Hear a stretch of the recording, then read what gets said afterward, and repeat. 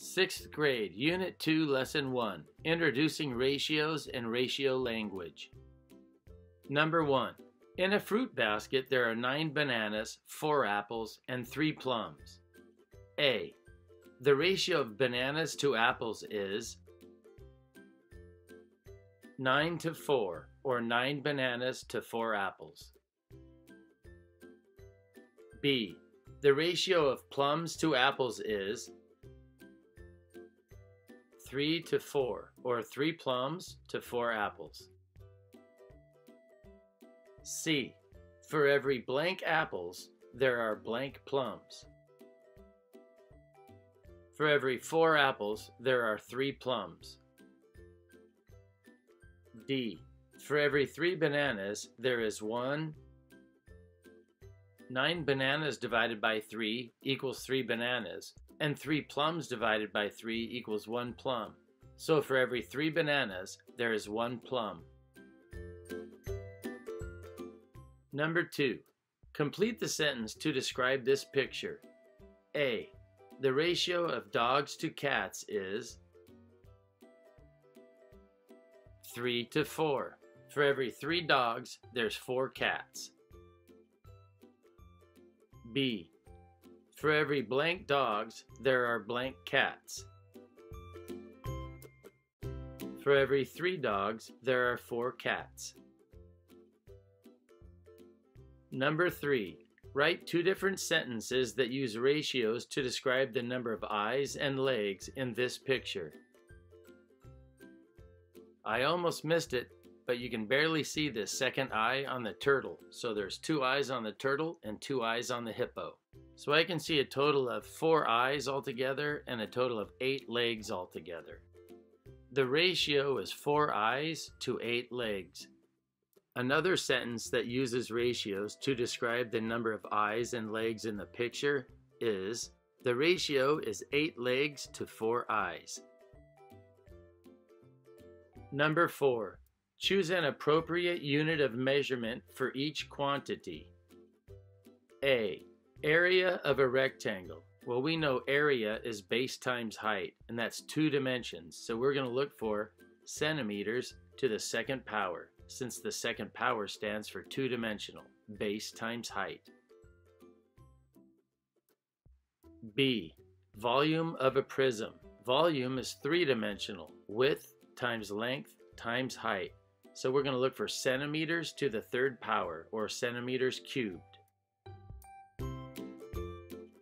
C, side of a square. So they're talking about the side length of a square. So we're just going to look for one length of measurement or one dimension, and that would be centimeters. D, area of a square. Again, just like A, to find the area, you need to multiply base times height, and that's two-dimensional. So we're going to look for centimeters to the second power, since second power stands for two-dimensional, base times height. E, volume of a cube. Again, volume is three-dimensional, width times length times height. So we're going to look for centimeters to the third power, or centimeters cubed. Number 5. Find the volume and surface area of each prism. A. Prism A is 3 centimeters by 3 centimeters by 3 centimeters.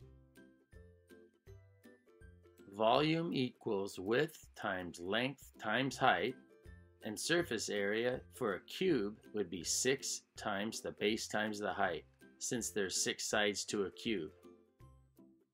So to find the volume of this cube, I'm going to multiply 3 times 3 times 3. And 3 times 3 times 3 equals 27 cubic centimeters or 27 centimeters cubed, which is the same as 27 centimeters to the third power. To find the surface area, I'm going to multiply 6 times 3 times 3, since there's 6 sides, and the area of each side is 3 times 3. So 6 times 3 times 3 is 54. So the surface area is 54 square centimeters or 54 centimeters squared, which is the same as 54 centimeters to the second power. B. Prism B is 5 centimeters by 5 centimeters by just 1 centimeter. So to find the volume, I'm going to multiply 5 times 5 times 1. And 5 times 5 times 1 is 25. So the volume of prism B is 25 cubic centimeters or 25 centimeters to the third power. To find the surface area, I'm going to multiply 4 times 5 times 1, since there's 4 sides that have an area of 5 times 1, plus 2 times 5 times 5, since there's 2 sides that have an area of 5 times 5. 4 times 5 times 1 is 20, and 2 times 5 times 5 is 50. 20 plus 50 is 70. The surface area of prism B is 70 centimeters squared. C. Compare the volumes of the prisms and their surface areas. Does the prism with the greatest volume also have the greatest surface area? Prism A has the greater volume, but Prism B has the greater surface area. Number 6. Which figure is a triangular prism? Select all that apply. Figures A, C, and D are all triangular prisms. Sixth grade. Unit 2, Lesson 2, representing ratios with diagrams. Number 1. Here is a diagram that describes the cups of green and white paint in a mixture. Green paint cups. There's four of them. White paint cups. There's two of them. Select all the statements that accurately describe this diagram. A. The ratio of cups of white paint to cups of green paint. That is correct. B. For every cup of green paint, there are two cups of white paint. It's actually the other way around. It should be for every two cups of green paint, there's one cup of white paint. C. The ratio of cups of green paint to cups of white paint is 4 to 2. So there's four cups of green paint, two cups of white paint, so that is true. D. For every cup of white paint, there are two cups of green paint. So for every cup of white paint, there are two cups of green paint. That is true. And E.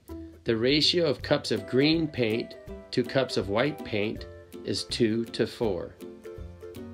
That is not true because they mention the green paint first, and in the ratio, the first number says 2, but there's actually 4 cups of green paint. The first number right here would have had to have been a 4. In order to make it true, they should say 4 to 2. That would have been true, but they didn't. Number 2. To make a snack mix, combine 2 cups of raisins with 4 cups of pretzels and 6 cups of almonds. A. Create a diagram to represent the quantities of each ingredient in this recipe. Two cups of raisins. So let's represent raisins with the letter R. And we'll have two R's to represent two cups. Four cups of pretzels. So let's put four P's to represent four cups of pretzels. And then finally, six cups of almonds. Six A's to represent the almonds. Number 2b. Use your diagram to complete each sentence. The ratio of raisins to pretzels to almonds is 2 to 4 to 6. There are blank cups of pretzels for every cup of raisins. So this is singular. One cup. So for every one cup of raisins, so if we were to take one cup of raisins, that would be half the cups of raisins. We'd have to take half the cup of pretzels. Two cups of pretzels for every one cup of raisin. There are blank cups of almonds for every cup of raisins. So again, this is singular for every cup of raisins. So if we took one cup of raisin, that's half the cups. So let's take half the cups of almonds. That would be three. There are three cups of almonds for every cup of raisins. Number three, A.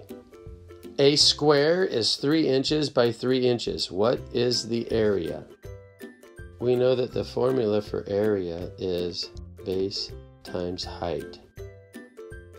So if a square is 3 inches by 3 inches, if their side lengths are 3, it would be 3 inches times 3 inches, and that would equal 9 inches squared, or 9 square inches. So the area would be 9 square inches. 3b. A square has a side length of 5 feet. What is the area?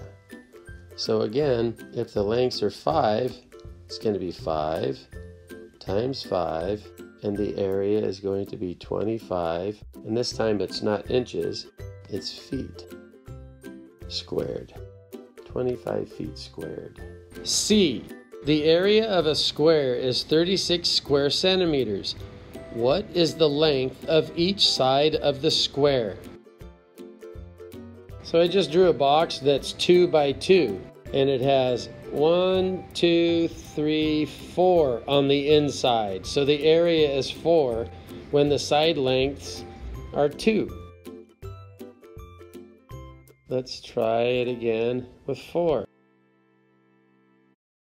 So this side length is four for the square, so it's four by four. The base is four, the height is four. Four times four is 16. So 4 times 4 equals 16. Let's count them. 1, 2, 3, 14, 15, 16. So we're not looking for 16 in here. We're trying to get 36. So I just made a square with side lengths of 6. So 6 times 6 equals 36. So if we were to count these, we'd have 1, 2, 3, 1, 32, 33, 34, 35, 36. The area of a square is 36 square centimeters. What is the length of each side of the square? The length of each side of the square is 6. Number 4. Find the area of this quadrilateral. Explain or show your strategy. As the shape is right now, it's a little bit difficult, but if I were to turn this into two triangles, it would be much easier because I know the formula for finding the area of two triangles. One way that I could do it is I could divide it right down the middle here. And now I have this triangle, and I have a second triangle right underneath it. So for this top triangle, the pink triangle, let's get its dimensions. Let's get its height and its width. One, one, two, three. So the height equals three units. And its base stretches from here one, two, three, four, five, six. So the base is 6. The height is 3 and the base is 6. And if you remember the formula, formula for a triangle, the area of a triangle is half of the base times the height. So that should be pretty simple. Let's do base times height. 6 times 3. 6 times 3 is going to equal 18. And then now we need to cut that in half, right? So let's cut that in half. Half of 18 equals 9.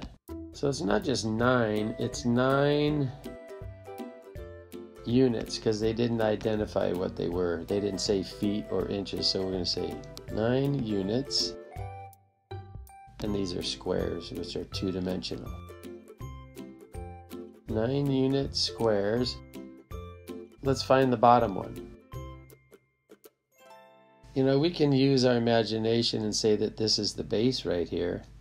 And then we can count one, two, three, four, five for the height. So the bottom triangle, the height is five, and the base is one, two, three, four, five, six. Base is six. So 5 times 6 equals 30. And then remember, it's a triangle, so we have to cut it in half. So half of 30 is 15 units. And remember, talking about squares.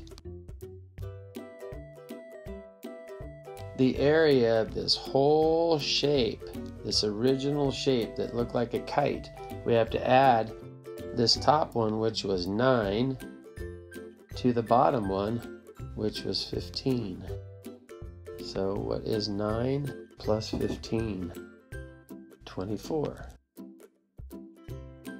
The area of this triangle is 24 units squared. Number 5. Complete each equation with a number that makes it true. A. 1 eighth times 8. A few ways to do this. 1 eighth multiplied by 8. And I have to put it over 1, so it's also a fraction. So we're going to go 1 times 8 equals 8. 8 times 1, we're just multiplying straight across, equals 8. So 8 over 8, that really means 8 divided by 8. So 8 divided by 8 is 1. 1. So B, 3 eighths times 8. Well, that answer is just going to be 3 times bigger than the first one that we just did. If 1 eighth times 8 is 1, then 3 eighths times 8 would be 3. 3 eighths times 8 3 times 8 is 24. 8 times 1 is 8. And remember, 24 over 8, or 24 eighths, equals, it's the same thing as 24 divided by 8. What is 24 divided by 8? 3. So we can put 3 up here. So now we're doing 1 eighth times 7. 1 8 times 7. So now we get 1 times 7 is 7. 8 times 1 is 8. So now we got our answer would be 7 eighths. 7 eighths. 3 eighths times 7. So my guess is that it's going to be 3 times bigger than the first one because 3 eighths is 3 times bigger than 1 eighth. So 7 eighths times 3 is going to be 21 eighths. So my guess is that we're going to get 21 eighths. Let's test this out. 3 eighths times 7. 3 times 7 is 21. 8 times 1 is 8. So here we have an improper fraction, meaning that the numerator is larger than the denominator, or the top number is bigger than the bottom number. Again, it's like a division problem. We could simplify this and reduce it. 21 divided by 8. How many times does 8 go into 21? 8 times 3 is 24, so that's too many times. How about twice? 8 times 2 is 16, so 8 times 2 is 16. And then what's the remainder? 21 minus 16 is 5 eighths. 2 and 5 eighths. So either one of these answers could work, but I'll use this mixed number answer right here. Before we go, I want to show you what I was thinking of with the 1 eighth of 8 from A. Working on A right now. I'm going to divide this up into 8 pieces so we have eight pieces. This number down here tells you how many pieces you're going to divide it up into. So we've divided it up into eight different pieces. So each of these are worth one. One eighth times eight is the same thing as of eight. One eighth of eight. It's asking what is one eighth of eight? each one of these is considered a fraction of the whole, right? And that fraction is 1 eighth. So let's take that 1 eighth. The value inside there is 1. So we know that the answer is 1. When it said 3 eighths of 8, well, you take this 1 eighth, 2 eighths, 3 eighths. So 3 eighths of 8 is 3.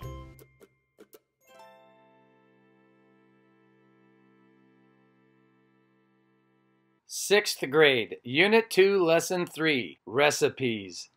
Number one, a recipe for one batch of spice mix says combine three teaspoons of mustard seed, 5 teaspoons of chili powder, and 1 teaspoon of salt. How many batches are represented by the diagram? Explain or show your reasoning. Well, we needed 3 teaspoons of mustard seeds, 5 teaspoons of chili powder, 1 teaspoon of salt. So that's enough for one batch. Let's Take three more teaspoons of mustard seed, five more teaspoons of chili powder, and one more teaspoon of salt. So that gives us enough for another batch. And then finally, let's see what we have left. Three teaspoons of mustard seed, five teaspoons of chili powder, and one teaspoon of salt. So that gives us a total of three batches. And the diagram itself explains the reasoning.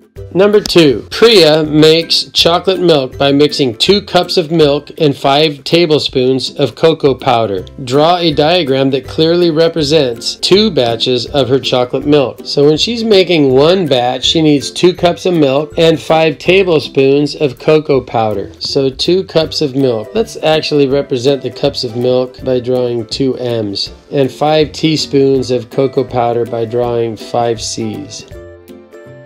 2 cups of milk, and 5 tablespoons of cocoa powder. But we need to double this batch. So if we were to double the batch, we need 2 more cups of milk and 5 more tablespoons of cocoa powder. So we need a 4 to 10 ratio of milk to cocoa powder. Number 3, in a recipe for fizzy grape juice, the ratio of cups of sparkling water to cups of grape juice concentrate is 3 to 1. A. Find two more ratios of cups of sparkling water to cups of juice concentrate that would make a mixture that tastes the same as this recipe. They gave us a 3 to 1 ratio. So no matter what we do, we have to keep that same ratio because they want this to taste the same. So let's just double the amounts. We have a 6 to 2 because we doubled the serving of sparkling water and we doubled the serving of juice concentrate and let's triple the original amount. So now we have 9 cups of sparkling water and 3 cups of juice concentrate. We found two more ratios, a 6 to 2 and a 9 to 3. B. Describe another mixture of sparkling water and grape juice that would taste different than this recipe. Well, remember, they started out with a 3 to 1. So we could change it up. And instead of having 3 cups of sparkling water, we could only have 2 cups of sparkling water and 1 cup of grape juice. That would make it taste differently. And then finally, we could go in the same direction and just have 1 cup of sparkling water and 1 cup of grape juice. So here are the two mixtures that would taste different. Number four, write the missing number under each tick mark on the number line. Here's the tick mark here and a tick mark here with a missing number. The numbers that they provided us, 18, 30, and 42 are identifying the distance between these two tick marks and these two tick marks. The difference between 18 and 30 is 12. So when they go from this point to this point, that's 12. And then from 30 to 42, that's 12. So if we were going to go halfway, halfway from 18 to 30, that would be adding half of 12. What's half of 12? 6. So 18 plus 6 more would bring us to 24. So this tick mark would be the 24 spot. Halfway between 30 and 42 would be adding half of 12. So what's 30 plus half of 12? 36. So underneath this tick mark, we're going to need a 36. Number five, at the kennel, there are six dogs for every five cats. The ratio of dogs to cats is six to five. B, the ratio of cats to dogs. Now they want us to put cats first. So there's five cats to six dogs. C, for every six dogs, there are five cats. D, the ratio of cats to dogs, well, that's the same as B, is 5 cats for every 6 dogs. Number 6. Elena has 80 unit cubes. What is the volume of the largest cube she can build with them?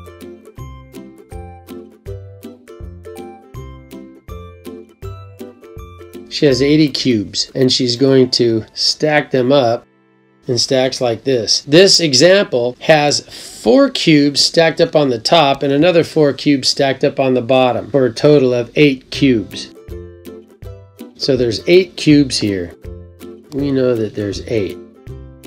The dimensions are 2 by 2 by 2. And to find the volume, the volume is base times height times length. So times 2 times 2 equals 8. So that's how we found this one. But they're asking us to find the largest cube possible using 80 cubes. This example only used 8 cubes. So let's come up with a scenario where we have a base, a height, and a length, and they're all the same. So let's test this one out. 5 times 5 times 5. Now that's going to be more than 80. 5 times 5 is 25 times 5, it's going to be 125. So having side lengths on each face of 5 would be too much, would be too big. Let's try 4. 4 times 4 times 4. 4 times 4 equals 16, and 16 times 4 equals 64. I think that the largest volume is 64 units cubed, or 64 cubes. 64 cubes is the most that Elena would be able to fit into the volume of a cube. Even though she had 80 cubes, she'd have some left over. Number 7. Fill in the blanks to make each equation true. 3 times 1 third. 3 times 1 third equals 3 over 3. 3 over 3 really means 3 divided by 3. And 3 divided by 3 is 1. 3 times 1 third is really the same thing as 3 divided by 3. So 10 times 1 tenth is the same thing as 10 divided by 10. So what is 10 divided by 10? It's 1. So let's use our imagination and pretend that each of these slices is a fifth in other words, it takes five of these slices to make one whole. If we were to cut each of these slices in half, then they would change from fifths to tenths. And why is that? Because it takes 10 tenths to make one whole. This question is asking us 10 times 10 tenths. Well, there's 10 times 10 tenths right there in this picture. So of course, 10 tenths equals one whole. That's another picture, another way to do it. But what we notice is that 10 divided by 10 equals 1, and 10 times 1 tenth equals 1. So knowing that, we have here 19 times 1 19th, and of course that's going to equal 1. And then here we have A. So just like 19 was represented here, 19 is represented as the denominator in this fraction here. It's going to be the same thing. We have A represented here and A represented as the denominator. Without doing any math, we know that the answer is going to be 1, as long as A does not equal 0. E, 5 times what equals 1? 5 times 1 fifth equals 1. In other words, how many fifths does it take to equal 1? You need 5 fifths to equal 1. 5 fifths equals 1. 17 times what equals 1? 17 times 1 17 equals 1. b times what equals 1? b times 1 over b equals 1. If we had one here that said 2 times what equals 1, we know that 2 halves equals 1. 2 halves equals 1, right? When you have 2 halves, you have 1 whole. So 2 halves times a half equals 1.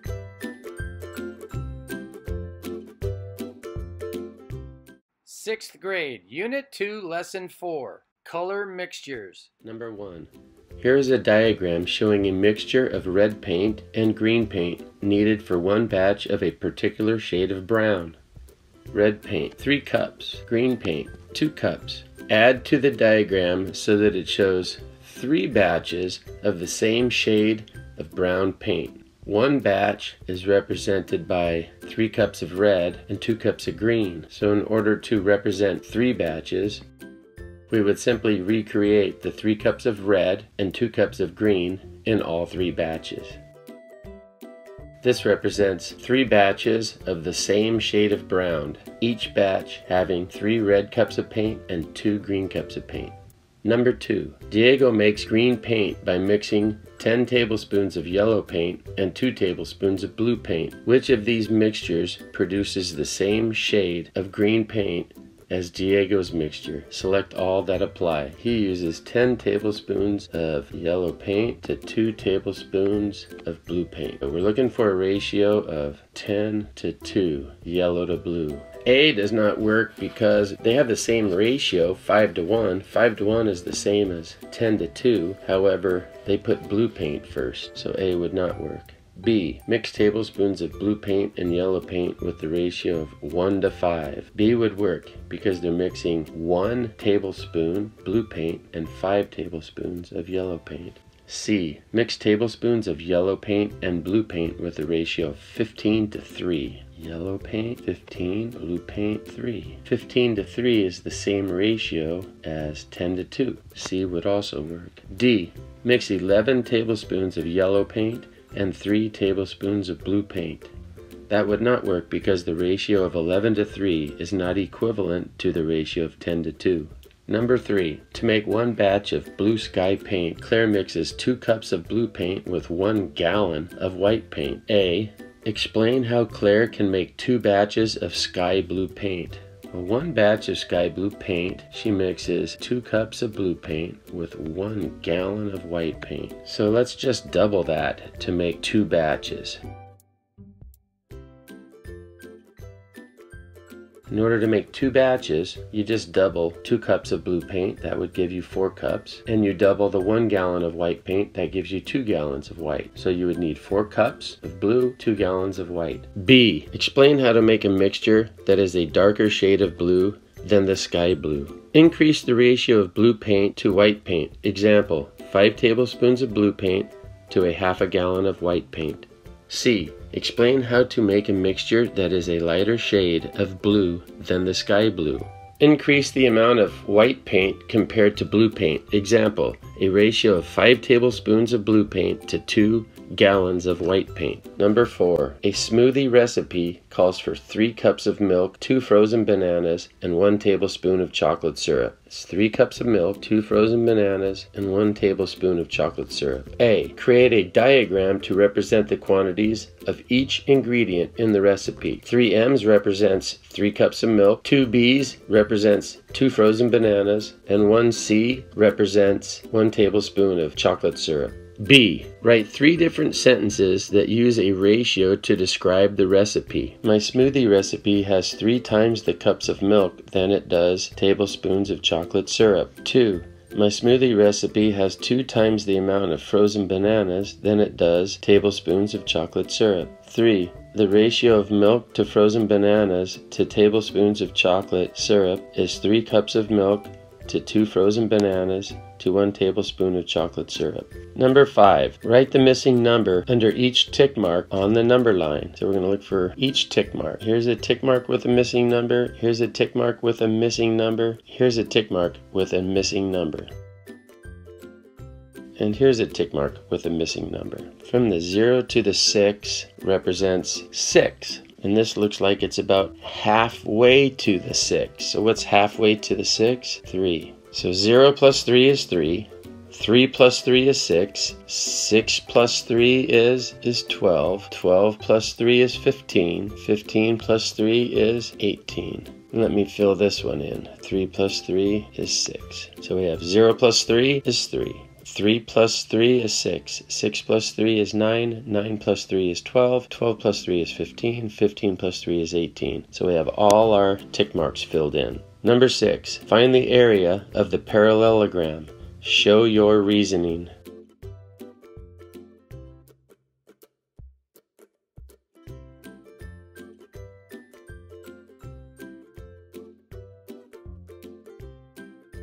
Let me try it like this. Looks like the length is 7. 1, 2, 3, 4, 5, 6, 7. So the length is 7 and the height is 1, 2, 3. And the height is 3.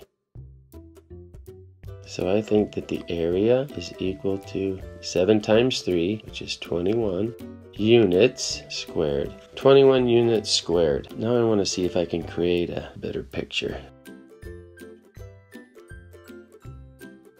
I want to take this one and place it right inside there. So now we have something that is one, two, three units tall times one, two, three, four, five, five units long. So the area of this one would be one, two, three, four, five, six, seven, eight, nine, ten, eleven, twelve, thirteen, fourteen, fifteen. Three times five is 15. So we have 15 square units represented here. We need to now deal with this section here that's left over. So let's take this piece and move it and put it here. Now we have something that's 1, 2. So we have 2 by 1, 2, 3, 4, 5, 6. So 2 by 3 was 6. So if we were to add 15 and 6, we would get 21 square units. So I showed you two different ways to find the area of that parallelogram and both ways showed that the area of the parallelogram was 21 units squared, or 21 square units. Number 7. 11 times 1 fourth equals 11 fourths. And 11 fourths means the same thing as 11 divided by 4. How many times does 4 go into 11? 2.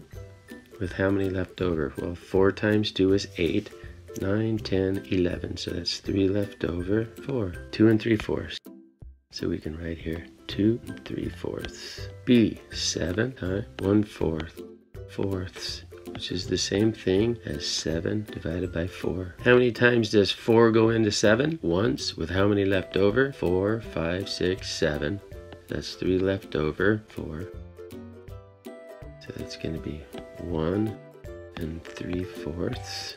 7 times 1 fourth is 1 and 3 fourths. C.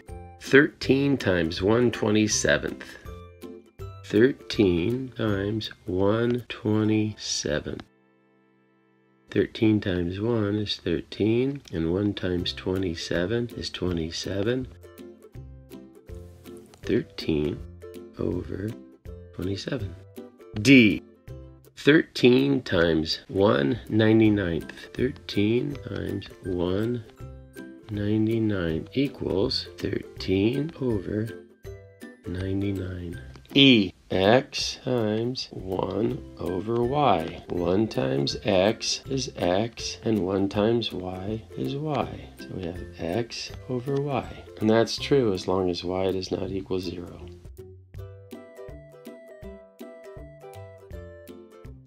Well, there you've completed Unit 2, Lesson 4, Color Mixtures.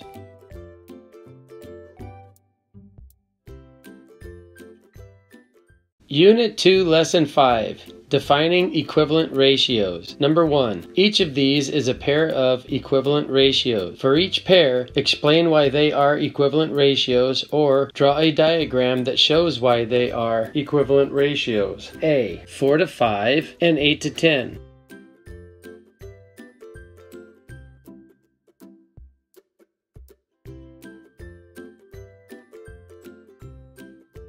One, two, three, four, to one, two, three, four, five. Four to five, two, four, six, eight, two, four, six, eight, ten. So this diagram worked for four to five, and it also worked for eight to ten, proving that four to five is the same ratio as eight to ten. B, 18 to three and six to one.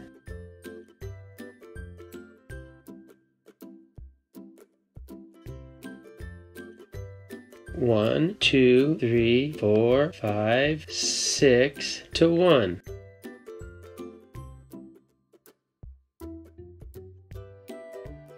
Six to one ratio.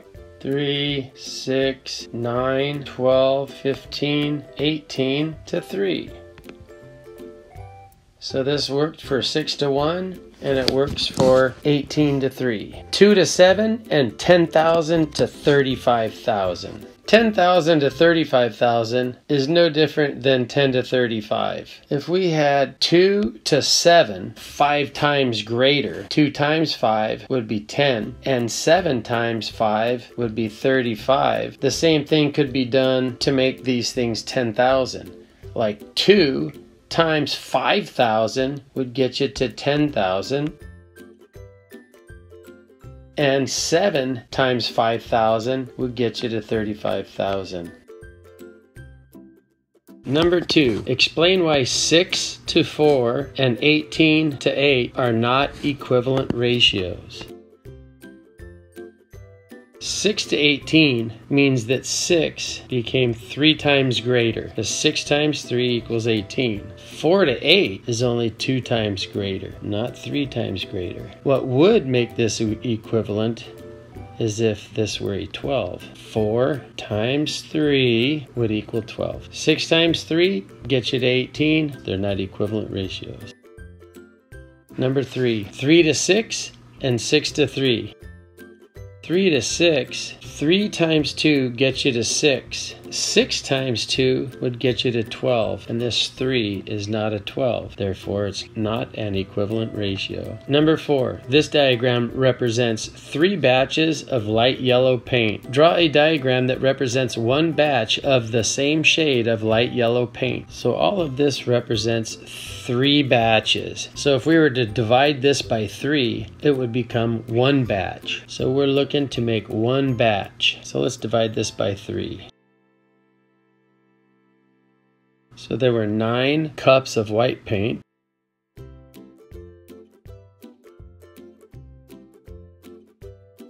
There are 15 cups of yellow paint. So one batch would be three cups of white paint and five cups of yellow paint. Number five. In the fruit bowl, there are six bananas, four apples, and three oranges. For every four apples, there are three oranges. The ratio of bananas to oranges is 6 to 3. 6 bananas for every 3 oranges. C. The ratio of blank to blank is 4 to 6. There are 4 apples to 6 bananas. The ratio of blank to blank is 4 to 6. The ratio of apples to bananas is 4 to 6. For every one orange, there are blank bananas. Well, the ratio of oranges to bananas is 3 to 6. So there's twice as many bananas as there are oranges. So when there's one orange, there must be two bananas. Number six, write fractions for point A and point B on the number line from 0 to 1 represents 1. This point here represents the halfway point. So this is 1 half. This here from 0 to 1, it represents 1. And let's see how many pieces it's cut into. One, two, three, four, five, six. This is cut into six even pieces. So we have six pieces to make one whole and it's cut into six even pieces. First one here would be one. Six A would be two sixths, which is the same as one third. The halfway point, that would be 3 sixths, which is the same as 1 half. And then this one is 4 sixths. B is going to be 5 sixths. And then obviously right here at the end, you're going to get to 6 sixths. So they needed the tick mark for B, which is 5 sixths. They needed the tick mark of A, which is 1 third. A equals 1 third. B equals 5 sixths. You're done with Unit 2, Lesson 5, Defining Equivalent Ratios.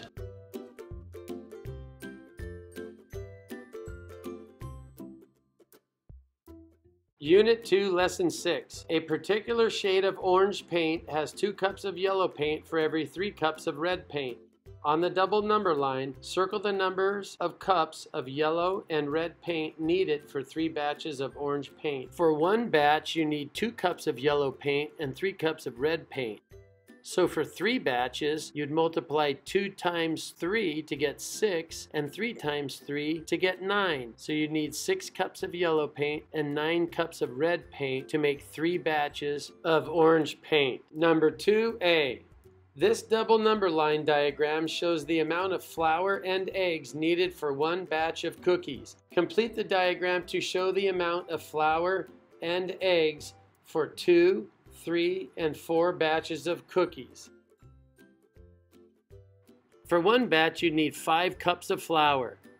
So I'm just going to count by fives. 5, 10, 15, and 20. For eggs, you need three for one batch. So I'm going to count by three. 3, 6, 9, and 12. B. What is the ratio of cups of flour to eggs? There's 5 cups of flour to 3 cups of eggs.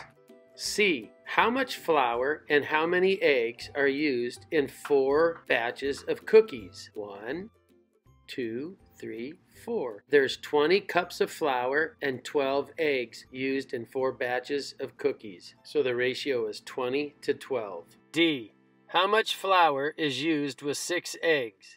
We can see here there's 6 eggs, so we use 10 cups of flour. E. How many eggs are used with 15 cups of flour? There's 15 cups of flour. We used 9 eggs.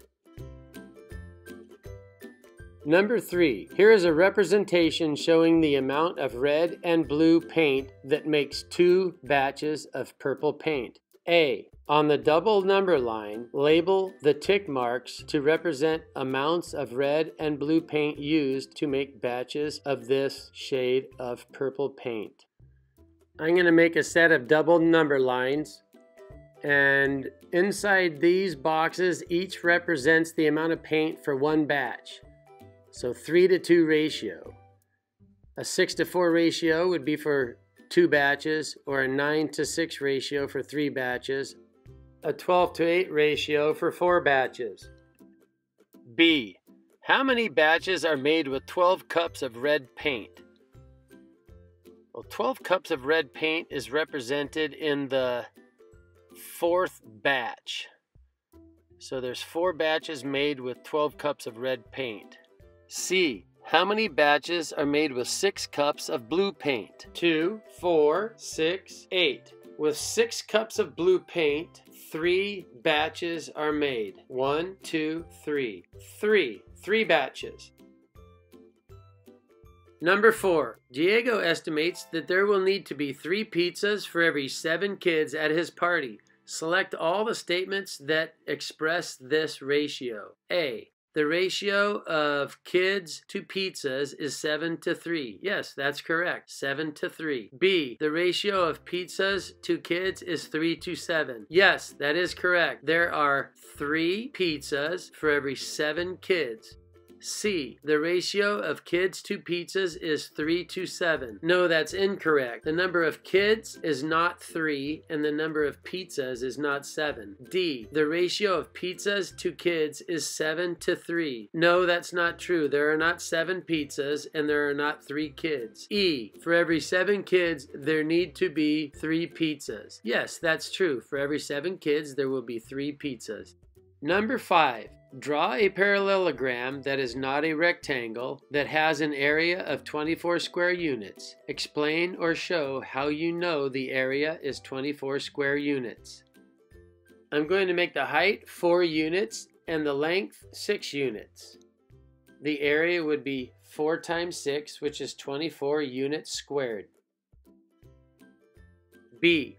Draw a triangle that has an area of 24 square units. Explain or show how you know the area is 24 square units. First I'm going to draw a rectangle and then I'm going to cut that rectangle in half. This rectangle is going to be 8 units by 6 units. So 8 times 6 would be 48. And when you cut 48 in half, the area of the triangle would be 24 units squared. Congratulations, you've completed Unit 2, Lesson 6. Unit 2, Lesson 7 Creating Double Number Line Diagrams. 1. A recipe for cinnamon rolls uses 2 tablespoons of sugar per teaspoon of cinnamon for the filling. Complete the double number line diagram to show the amount of cinnamon and sugar in 3, 4, and 5 batches. There's one batch, two batches,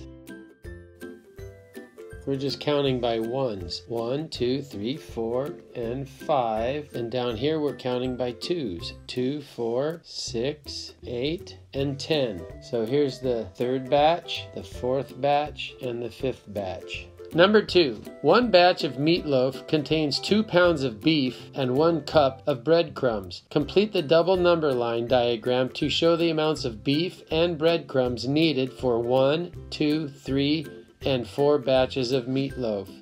One, two, three, four. One, two, three, four. So for one batch, it's two pounds. So two batches would be double that. That's four pounds.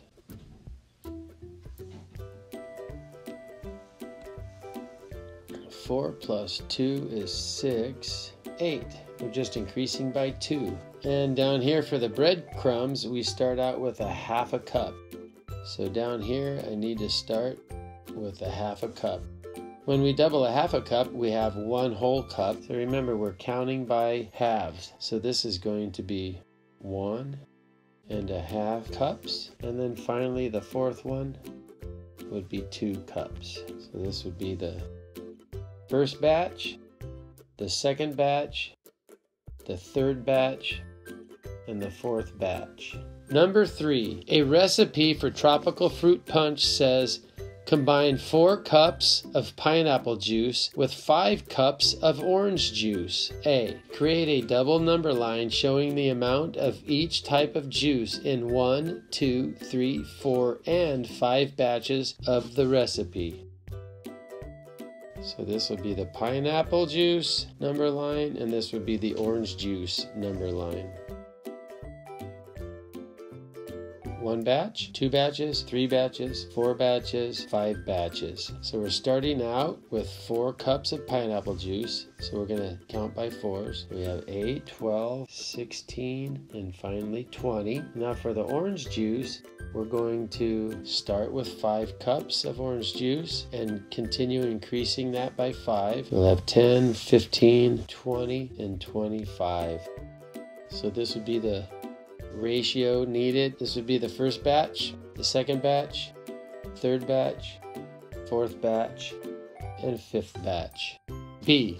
If 12 cups of pineapple juice are used with 20 cups of orange juice, will the recipe taste the same? Explain your reasoning. Well, 12 cups of pineapple juice is supposed to be used with 15 cups of orange juice. If you increase that to 20 cups, you're going to taste more orange juice than in the original mixture.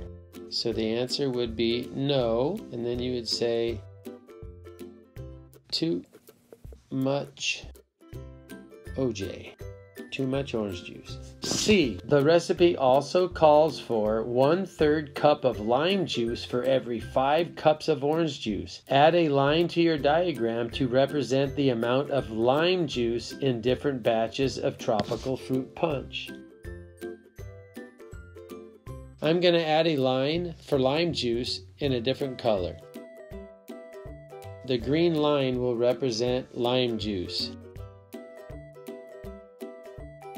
One third cup of lime juice for every five cups of orange juice.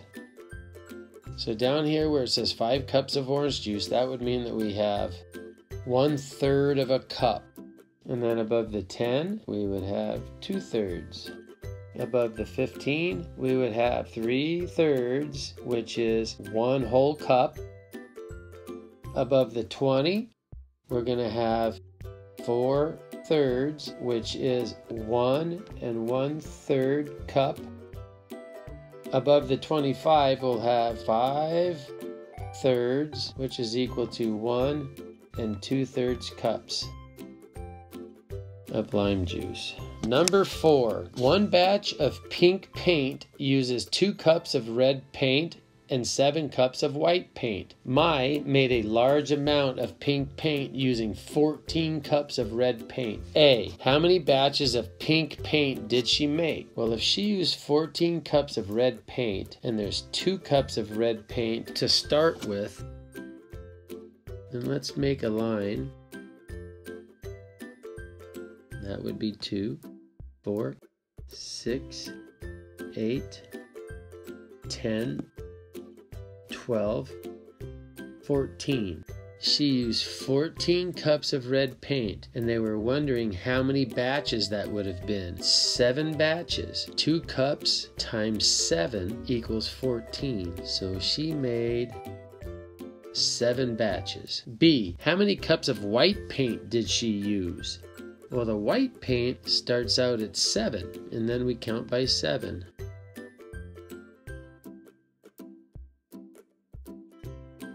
We started with 7, then we doubled that to 14, then we tripled it to 21, then we times it by 4 to get to 28, times it by 5 to get to 35. 7 plus 35 is going to be 42. And then finally, right here, underneath the 14, we would have 49. So she used 49 cups of white paint. Number five, find three different ratios that are equivalent to 3 to 11. Well, let's start with a number line with a 3 and a number line with the 11. We're going to double the 3 and get 6, double the 11 and get 22. Now triple the 3 to get 9 and triple the 11 to get 33. Now we're going to have to multiply that 3 times 4 to get 12 and 11 times 4 to get 44. And they asked us to get three different ratios. And we did. We got 6 to 22, 9 to 33, and 12 to 44. We could write them out like this 6 to 22, 9 to 33, and, and 12 to 44. B. Explain why your ratios are equivalent. My explanation is right here in this diagram. Number six, here is a diagram that represents the pints of red and yellow paint in a mixture. So there's three pints of red paint and one pint of yellow paint in a mixture. If you increase that at the same rate, you could have three more pints of red paint and one more pint of yellow paint, and you could call that a six to two ratio. You could call that a three to one ratio or a six to two ratio. So let's look at these statements. Select all statements statements that accurately describe the diagram. A. The ratio of yellow paint to red paint is 2 to 6. Well, we have 2 yellow to 6 red, so that would be yes. For every 3 pints of red paint, there is 1 pint of yellow paint. So for every 3 pints of red, there's 1 pint of yellow. That's true. C. For every pint of yellow paint, there are 3 pints of red. So for every pint of yellow, there's 3 pints of red. That is true. D. For every pint of yellow paint, there are six pints of red paint. That is not true. For every pint of yellow, there's three red. E. The ratio of red paint to yellow paint is 6 to 2. The ratio of red paint to yellow paint is 6 to 2, and that is true. Congratulations. You have completed Unit 2, Lesson 7, Creating Double Number Line Diagrams. Unit 2, Lesson 8, How Much for One? Number 1. In 2016, the cost of 2 ounces of pure gold was 2,640. Complete the double number line to show the cost for 1, 3, and 4 ounces of gold. 2 ounces of gold was 2,640. 1 ounce of gold will be half of that. 1 ounce of gold would be half of 2,640. 1,320. 3 ounces of gold would be 1,320 times 3, or we could add 1,320 to 2,640. 3,960. And then finally, 4 ounces of gold would be 1,320 times 4, or we would double 2,640, or we could add 1,320 to 3,960. I think I'll just double 2,640. If I were to double 40, I would get 80. And now I'm going to double this 2,600, so that would be 5,200. So 5,280 for 4 ounces. 1 ounce of gold, 1,320. 2 ounces of gold, 2,640. 3 ounces of gold, 3,960.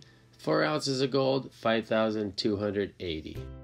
Number 2. The double number line shows that 4 pounds of tomatoes cost $14. Draw tick marks and write labels to show the price of 1, 2, and 3 pounds of tomatoes.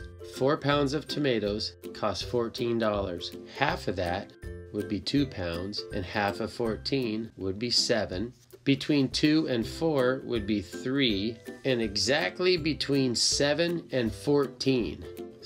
Let's see, 7, 8, 9, 10, 11, 12, 13, 14. So I can find it by going like this. Eliminate that one, eliminate this one, eliminate this one. So it's going to be somewhere between these two. So we'd have to figure out what that is. So this is 7, 8, 9, 10. So it looks like 10 and a half or $10.50. So three pounds should be $10.50. Halfway between zero and two would be one, and halfway between zero and seven would be 3.5, or in this case, $3.50. Need to put a decimal here for $10.50. So one pound of tomatoes is $3.50, two pounds of tomatoes is $7, three pounds of tomatoes is $10.50, and four pounds of tomatoes is $14. Number three, four movie tickets cost $48. At this rate, what is the cost of A, five movie tickets? One, two,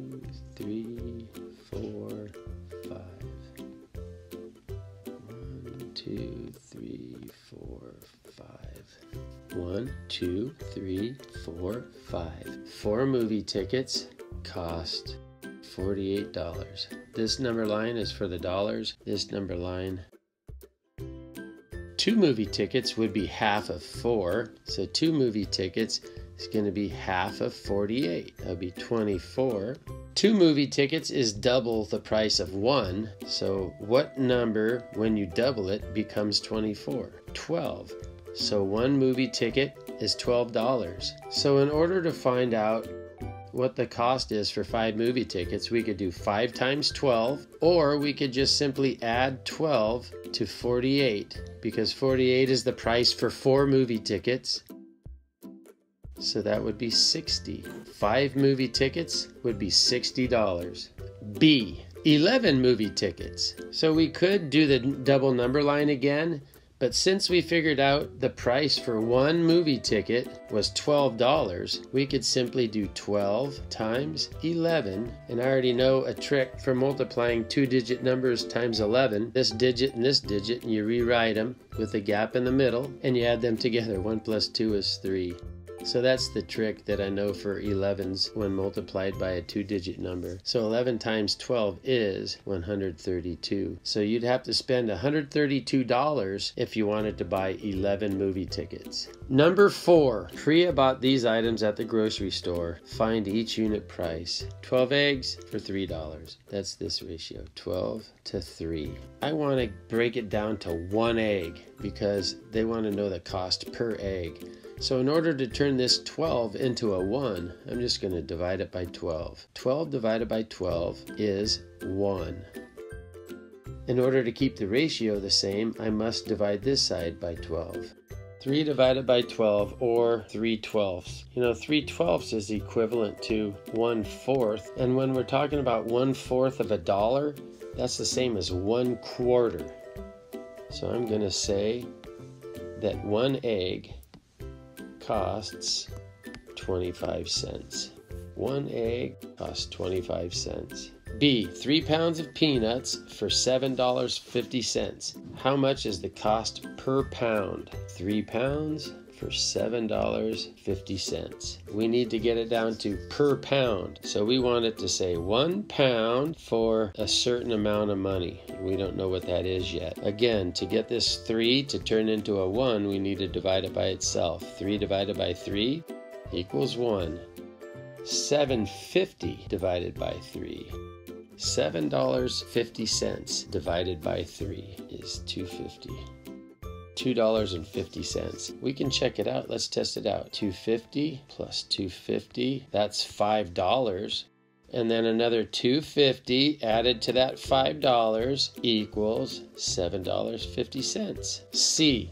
Four rolls of toilet paper for $2. How much is the cost per roll? So we have four rolls for $2. We want to know what the price is for one roll. One roll would cost this much.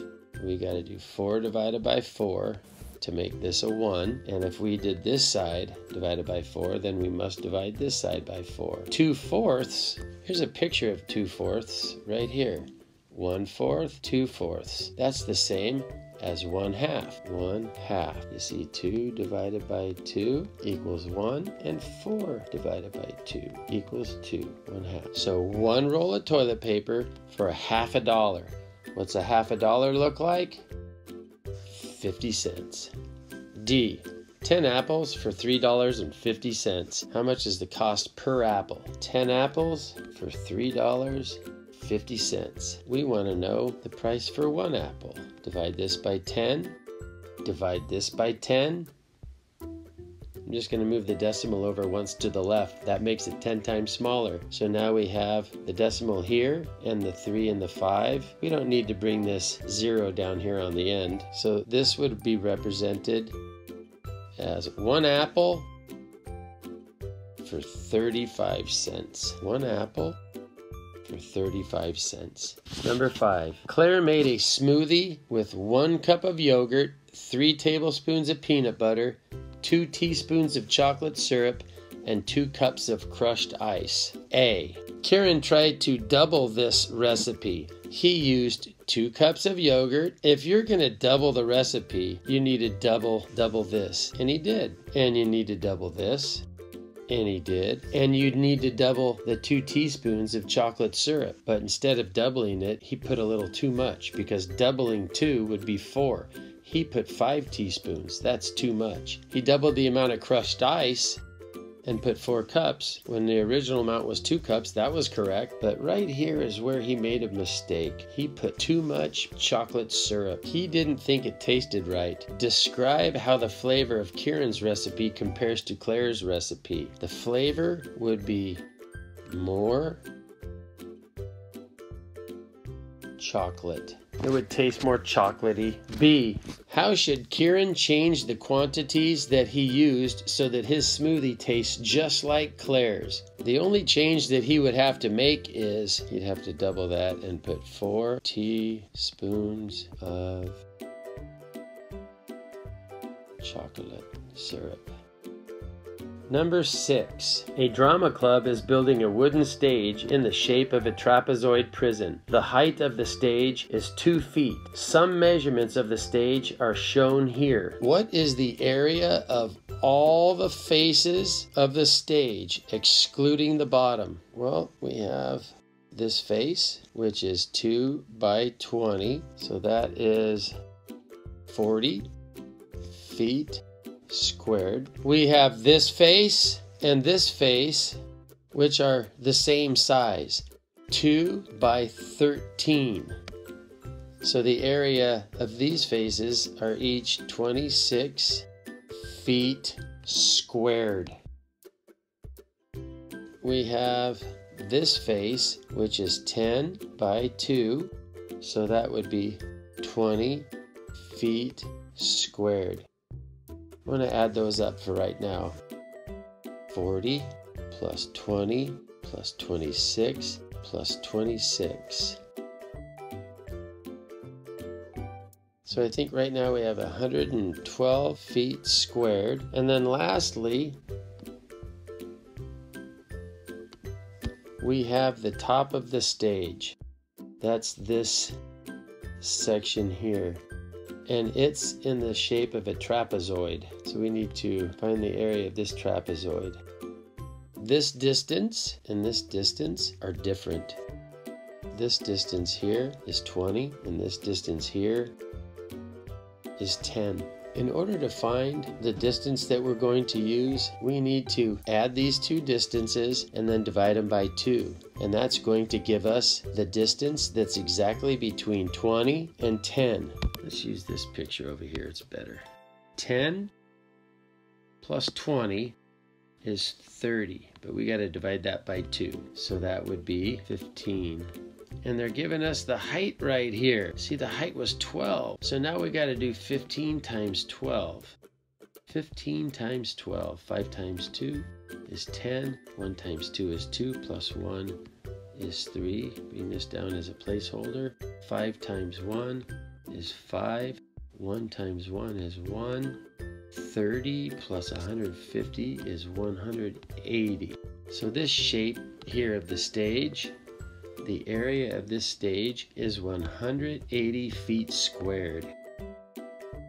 This stage is 180 feet squared. Here we had 26, 26, 40, and 20. So 112 feet squared. So 180 plus 112 was 292 feet squared. The area equals 292 feet squared. Congratulations! You finished Unit 2, Lesson 8. How much for one?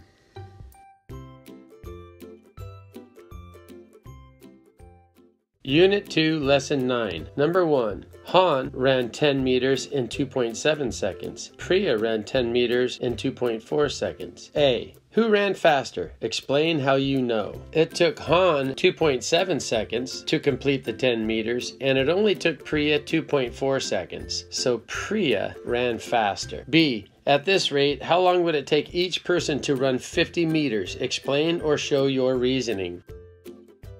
This is 10, this is 10, this represents 10, and that represents 10. Together, it totals 50 meters. So let's do Han first. He runs his at a rate of 2.7 seconds for every 10 meters.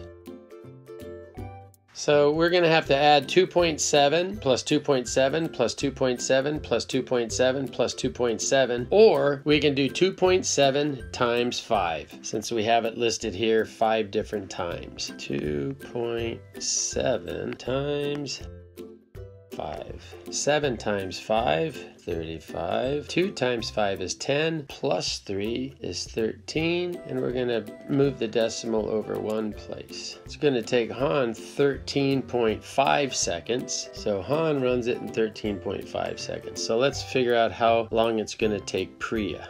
2.4 times 5 4 times 5 is 20. 2 times 5 is 10, plus 2 is 12. And we're going to move the decimal over one place. So Priya runs it in 12 seconds. At this rate, Han would run 50 yards at 13.5 seconds. At this rate, Priya would run 50 meters in 12 seconds. Number 2. A scooter travels 30 feet in 2 seconds at a constant speed. A. What is the speed of the scooter in feet per second? 1 second, 2 seconds. So if 2 seconds was 30 feet, so this is 2 seconds, 1 second would be half of that, so that would be 15 feet. A. What is the speed of the scooter in feet per second? 15 feet per second. B. Complete the double number line to show the distance the scooter traveled after 1, 3, 4, and 5 seconds. So here we had 15 feet for 1 second. Way over here, uh, 15 times 3 or 30 plus 15 is 45. 60. So this tick mark is going to represent 4 seconds. And then finally, this last tick mark, 60 plus 15 is 75. And that's going to represent five feet. So in five seconds, the scooter would go 75 feet. In four seconds, the scooter would go 60 feet. In three seconds, the scooter would go 45 feet. And in just one second, the scooter would go 15 feet. C. A skateboard travels 55 feet in 4 seconds. Is the skateboard going faster, slower, or the same speed as the scooter? 55 feet in 4 seconds. The scooter was going 60 feet in 4 seconds, and the skateboard is traveling 55 feet in 4 seconds. So the skateboard's not going as far because 55 is less distance than 60. So the skateboard is going slower than the scooter. 3. A cargo ship traveled 150 nautical miles in 6 hours at a constant speed. How far did the cargo ship travel in 1 hour? In six hours, the cargo ship traveled 150. I could cut six hours in half and figure out three hours. 150 divided by two is 75. Really, we're just going to have to go 75 divided by three and that's going to give us 25. It reminds me of quarters, right? One quarter is 25 cents. Three quarters is 75 cents. Two quarters is 50 cents. So if I think about coins, it makes it a lot easier. How far did the cargo ship travel in one hour? The cargo ship traveled 25 nautical miles in one hour. Number four, a recipe for pasta dough says use 150 grams of flour per large egg egg. So one egg to 150 grams of flour. A. How much flour is needed if six large eggs are used? So if the ratio is 150 grams of flour to one egg, then six eggs that's six times more. So what's what's six times more than 150? We need to multiply 150 times 6. 0 times 6 is 0. 5 times 6 is 30. 1 times 6 is 6. Plus 3 is 9. So we're talking 900 grams of flour if we use 6 eggs. How many eggs are needed if 450 grams of flour are used? 150 plus 150. By the way, this is one egg here, another egg here, so that's 300. So with 300, you would use two eggs. If we were to add 150 more grams of flour, we would end up with 450. If we added 150 more grams of flour, that would mean that we need to add one more egg. So if we added one more egg to the two eggs, we would have a total of three eggs. Number five, the grocery store is having a sale on frozen vegetables. Four bags are sold for $11.96. At this rate, what is the cost of of one bag. So to turn four bags into one bag, we really just need to divide the four bags by four. So let this be the number of bags and let this be the cost. 1196 and 4 bags. 4 divided by 4 equals 1. So 1196 divided by 4 will tell us how much one bag is sold for. 1196 divided by 4. How many times does 4 go into 11? Twice. 2 times 4 equals 8. 11 minus 8 is 3.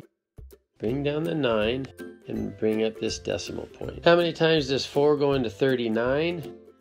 9 times. 9 times 4 is 36. 39 minus 36 is 3. Bring down the 6. How many times does 4 go into 36? That goes in an even 9 times. And 9 times 4 is 36. So we have no remainder, so we're done. So we know that 2.99 is the cost for one bag of frozen vegetables. So if one bag of frozen vegetables costs $2.99, then nine bags would be nine times larger than $2.99. $2.99 times 9. 9 times 9 is 81. 9 times 9 is 81 plus 8 is 89. 2 times 9 is 18. 18 plus 8 is 26. Move the decimal over two places. $26.91. So 9 bags would be $26.91. $26.91. Number six, a pet owner has five cats. Each cat has two ears and four paws. A. Complete the double number line to show the number of ears and paws for one, two, three, four, and five cats. One, two, three, four, five cats. So the number of ears on zero cats is zero. The number of ears on one cat is two. The number of ears on two cats is four. So up here we're just increasing each by one. But down here we're increasing each by two. So we go zero to two, two to four, four to six, and then six to eight. For five cats, that would be 10 ears. So two, four, six, eight, ten. The number of paws. So the number of paws on each cat is four. So if there's zero cats, there's zero paws. If there's one cat, there would be four paws. So down here, we're increasing by one. So zero to one, one to two, two to three, three cats to four cats, four cats to five cats. So for one cat, there'd be four paws. Two cats, there would be eight paws. Three cats, there would be 12 paws. So up here, we're increasing by four. So we go 0, 4, 8, 12. That's 12 plus 4. 16. And then finally, 16 plus 4 would be 20. B. If there are three cats in a room, what is the ratio of ears to paws? So three cats, there'd be six ears and three cats, there would be 12 paws. So six ears to 12 paws. The ratio of ears to paws for three cats would be 6 to 12. C. If there are four cats in the room, what is the ratio of paws to ears with four cats? Paws to ears. Four cats, that would be 16 paws 16 paws on four cats, and four cats would have eight ears. Four cats would have eight ears. So the ratio of paws to ears on four cats is 16 to 8.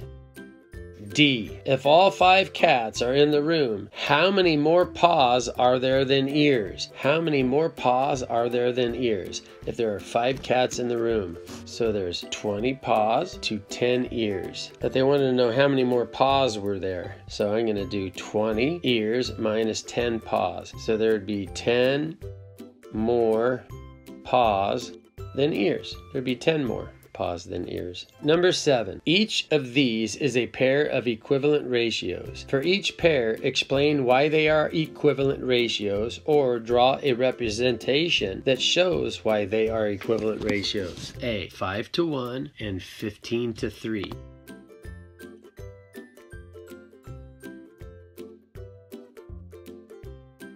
So let's start out with 5 to 1, 10 to 2, 15 to 3. So down here we're increasing by 1. Up here we're counting by 5s. 5 to 1, 10 to 2, 15 to 3. These are equivalent ratios. B, 25 to 5 and 10 to 2. So 25 to 5. So 10 to 2. 10 to 2, which mean that this one would be 5 to 1. So up here, it looks like we're counting by 5s. And down here, we're counting by 1s. 1, 2, 3, 4. So up here we get 5, 10, 15, 20, 25. So 10 to 2 is an equivalent ratio as 25 to 5. C. 198 to 1287. Compared to 2 to 13. Why are they equivalent? If we were to increase 2 to become 198, we'd have to multiply it by 99 because 2 times 99 equals 198. If we were to increase 13 to become 1287, we'd have to multiply it by 99 because 13 times 99 equals 1287. So I guess if you wanted to explain how the ratios 2 to 13 are related to 198 to 1287 is that these numbers are multiplied by 99 to get these numbers. And that shows they are equivalent ratios.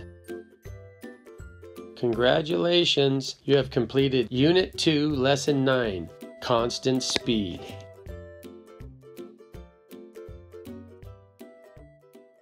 Unit 2, Lesson 10 Comparing Situations by Examining Ratios. Number 1. A slug travels 3 centimeters in 3 seconds. A snail travels 6 centimeters in 6 seconds. Both travel at constant speeds. Mai says the snail was traveling faster because it went a greater distance. Do you agree with Mai? Explain or show your reasoning. No, I don't agree. The slug traveled 3 centimeters in 3 seconds. That's a 3 to 3 ratio. The snail traveled 6 centimeters in 6 seconds. That's a 6 to 6 ratio ratio. These are actually equivalent ratios. This land represents seconds, this land represents centimeters. One centimeter, one second. Two centimeters, two seconds. Three centimeters, three seconds. Four, five, six. Six centimeters, six seconds. They are equivalent ratios. The slug and the snail were traveling at the same rate. Number two, if you blend two scoops of chocolate ice cream with one cup of milk, you get a milkshake with a stronger chocolate flavor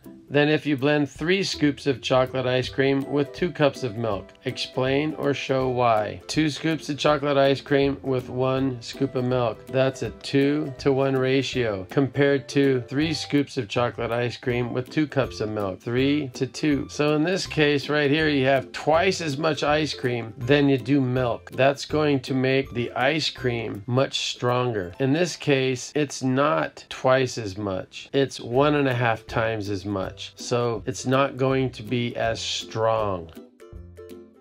2 to 1 compared to a 3 to 2, which is the same as a 1.5 to 1. So when you compare a 1.5 to 1 with a 2 to 1, it shows that the 2 to 1 had more ice cream. Number 3. There are two mixtures of light purple paint. Mixture A is made with 5 cups of purple paint and 2 cups of white paint. 5 to 2. Mixture B is made with 15 cups of purple paint and 8 cups of white paint. Which mixture is a lighter shade of purple. At the 5 to 2 ratio, you would end up with 15 cups of purple paint to 6 cups of white paint. So with 6 cups of white paint mixed with 15 cups of purple paint, you would actually have a darker shade than you would with 15 cups of purple paint mixed with 8 cups of white paint. This would be the lighter shade. Mixture B is the lighter shade. Number 4. Tulip bulbs are on sale at store A 5 for $11 and the regular price at store B is 6 for $13. Is each store pricing tulip bulbs at the same rate? Explain how you know. I'm going to say no to 11 ratio. That's store A. Store B is a 6 to 13 ratio.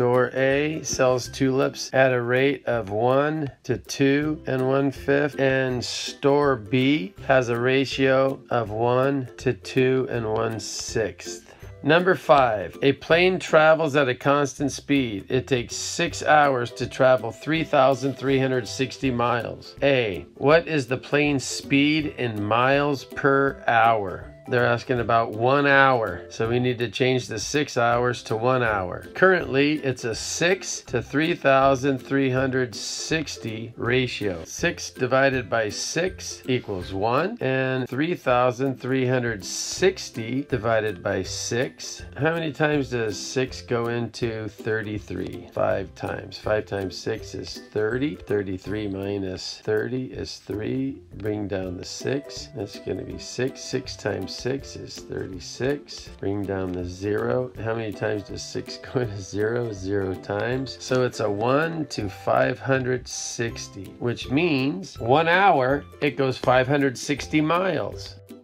560 miles per hour. B. At this rate, how many miles can it travel in 10 hours? In one hour, it goes 560 miles. So in 10 hours, we need a number 10 times bigger.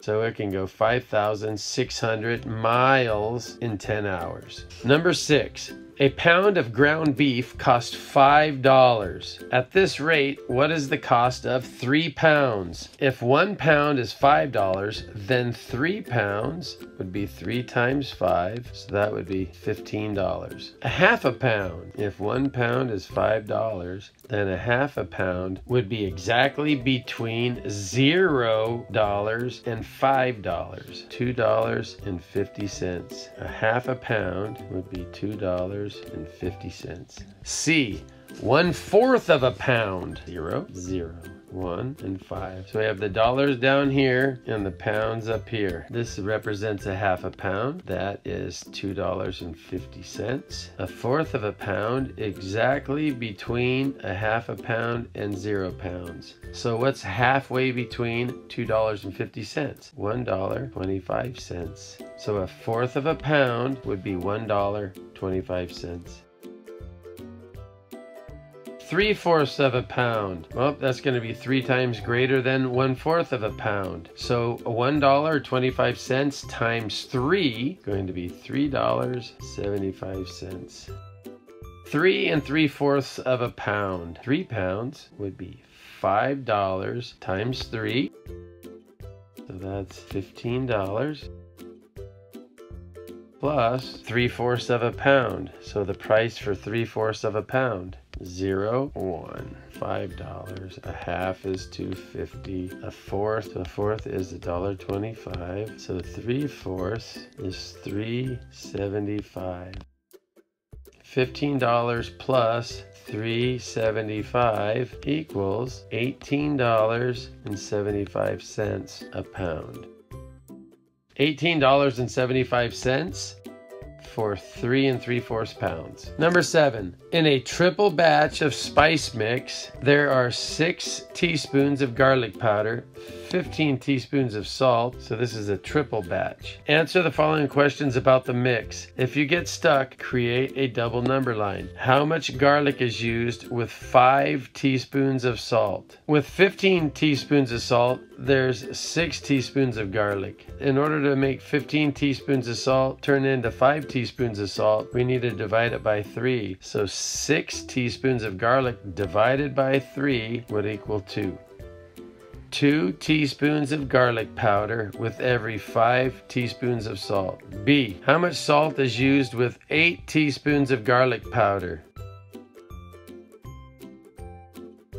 6 divided by 6 equals 1. 15 divided by 6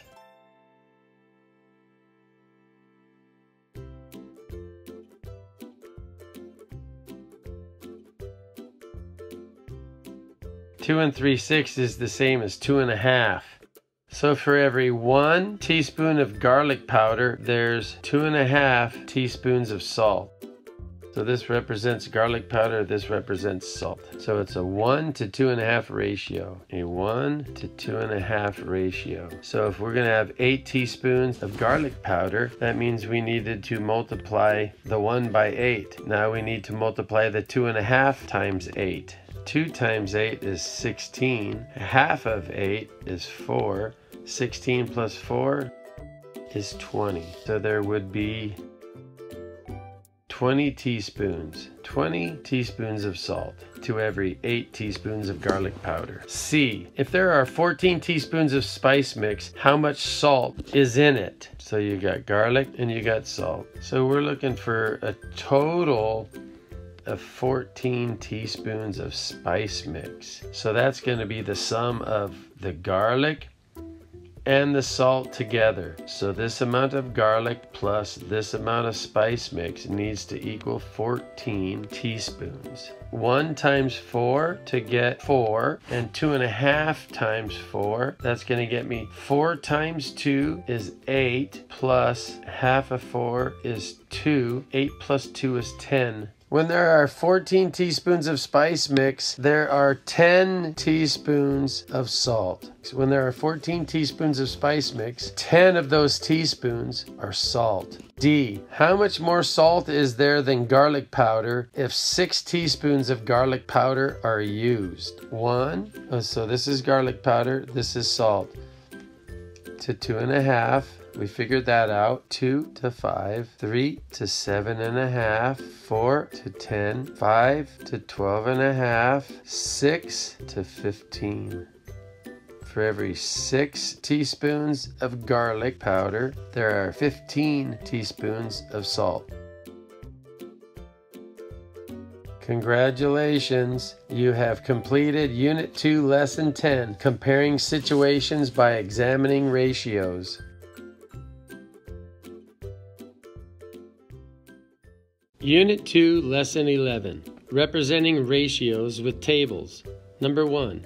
Complete the table to show the amounts of yellow and red paint needed for different sized batches of the same shade of orange paint. Explain how you know that these amounts of yellow paint and red paint will make the same shade of orange as the mixture in the first row of the table. I'm simply going to count by fives 5, 10, 15, and 20. And on this side, I'm going to count by 6 6, 12, 18, and 24. My explanation is simply that the 5 to 6 ratio is an equivalent ratio to 10 to 12, for example, because we just doubled the 5 to get 10 and doubled the 6 to get 12. We could do the same thing for each of these. Triple the 5 to get 15, triple the 6 to get 18, and quadruple the 5 to get 20, quadruple the 6 to get 24. They're all equivalent ratios. Number two, a car travels at a constant speed as shown on the double number line. How far does the car travel in 14 hours? Explain your reasoning. So we want to know how far the car travels in 14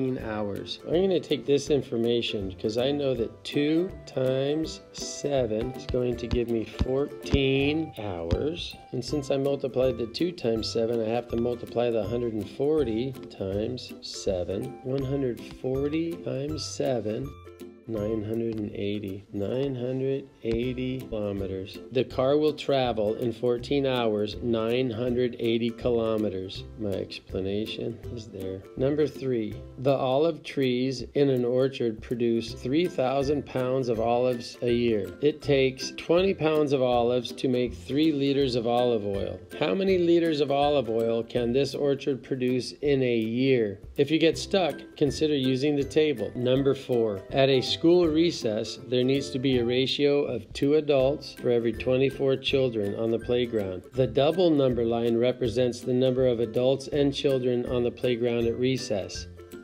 A. Label each remaining tick mark with its value 0, 2, 4, 6, 8. 0, 24, 48. So we're just counting by 24. So I have to add 24 to this number. That's going to give me 72 and 96. B. How many adults are needed if there are 72 children? Circle your answer on the double number line. Number of children, 72. So we would need six adults for 72 children during recess. Number five, while playing basketball, Jada's heart rate goes up to 160 beats per minute. While jogging, her heart beats 25 times in 10 seconds. Assuming her heart beats at a consistent rate while jogging, which of these activities results in a higher heart rate? Explain your reasoning. 160 beats per minute. That's the same thing as 60 seconds. So 160 beats in 60 seconds. 25 beats in 10 seconds. Let's turn this 10 into 60. So we have an unknown amount of beats in 60 seconds, which is the same thing as one minute. So 10 times 6 equals 60. So we're going to have to multiply 25 times 6. 25 times 6 equals 150. So let's compare this heart rate. 160 beats per minute compared to 150 beats per minute. Her heart rate is higher when she's playing basketball. Number six, a shopper bought the following items at the farmer's market. A, six ears of corn for $1.80. What was the cost per ear?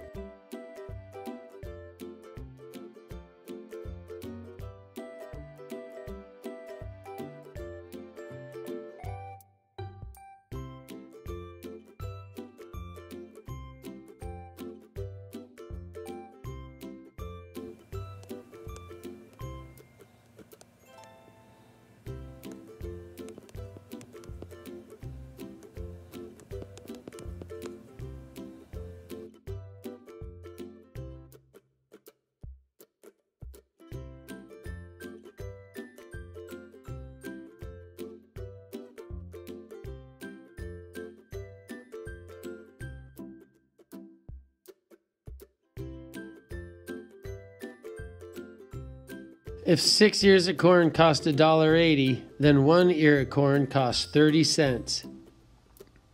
B. 12 apples for 288. What was the cost per apple? 12 apples for 288. What's the cost per apple? 288 divided by 12. How many times does 12 go into 28? That's 2. 2 times 12 is 24. Uh, how many times does 12 go into 48? 4. 4 times 2 is 8. 4 times 1 is 4. We have 0 as the remainder. Each apple costs 24 cents. C. 5 tomatoes for $3.10. What was the cost per tomato? If 5 tomatoes were $3.10, then 10 tomatoes would be $6.20. 5 times 2 is 10. $3.10 times 2 is $6.20. And if 10 tomatoes was $6.20, then one tomato is going to be 62 cents. So the price of one tomato is 62 cents. Let's double check. 310 divided by 5. And we think the answer is 62 or 62 cents. Let's check. How many times does 5 go into 3? 0. How many times does 5 go into 31? 6. 6 times 5 is 30. 31 minus 30 is 1. Bring down the 0. How many times does 5 go into 10? Twice. 2 times 5 is 10, so we have no remainder, which means we're done. 62 cents. Congratulations, you have completed Unit 2, Lesson 11, representing ratios with tables.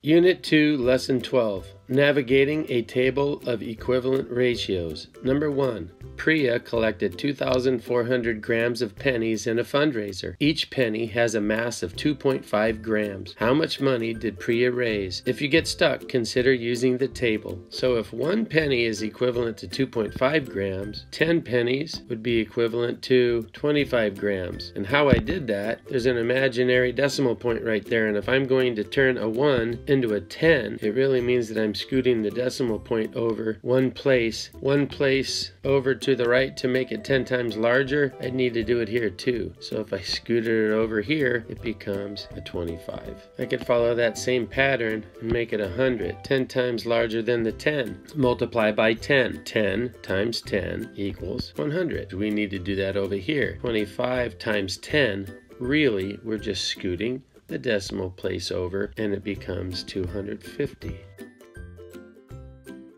And we can do that again. Move this decimal place over. It becomes 1,000, making it 10 times bigger than 100. And we can do that on this side too. Make this 10 times bigger. Becomes 2,500. So now we have some information that we can use. We have the number of pennies and we have the mass in grams. The mass in grams that we're looking for is 2,400. If 1,000 pennies equals 2,500 grams, then how many pennies equals 2,400 grams? 2,400 equals how many pennies? Well, this one's too large, 2,500, so we'll get rid of this one. But we can use this. We can count by 250.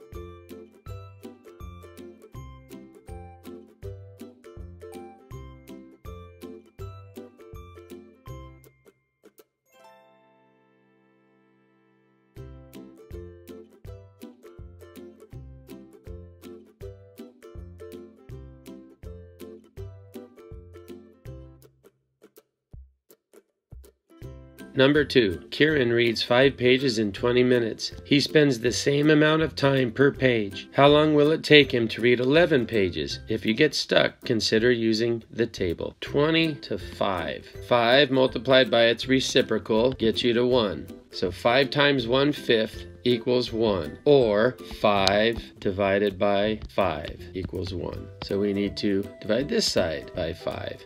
20 divided by 5 equals 4. So the ratio of 20 to 5 is equal to the ratio of 4 to 1. 1 times 11 equals 11. So 4 times 11 is going to equal 44. So in 44 minutes, Kieran can read 11 pages. In 4 minutes, Kieran reads 1 page. And in 20 minutes, Kieran reads 5 pages. Number 3. Mai is making personal pizzas. For 4 pizzas, she uses 10 ounces of cheese. four pizzas, 10 ounces of cheese. So I know that two pizzas would be half of that, so that'd be five ounces. Half of two is one, and half of five is 2.5. So these are pizzas, and these are ounces of cheese.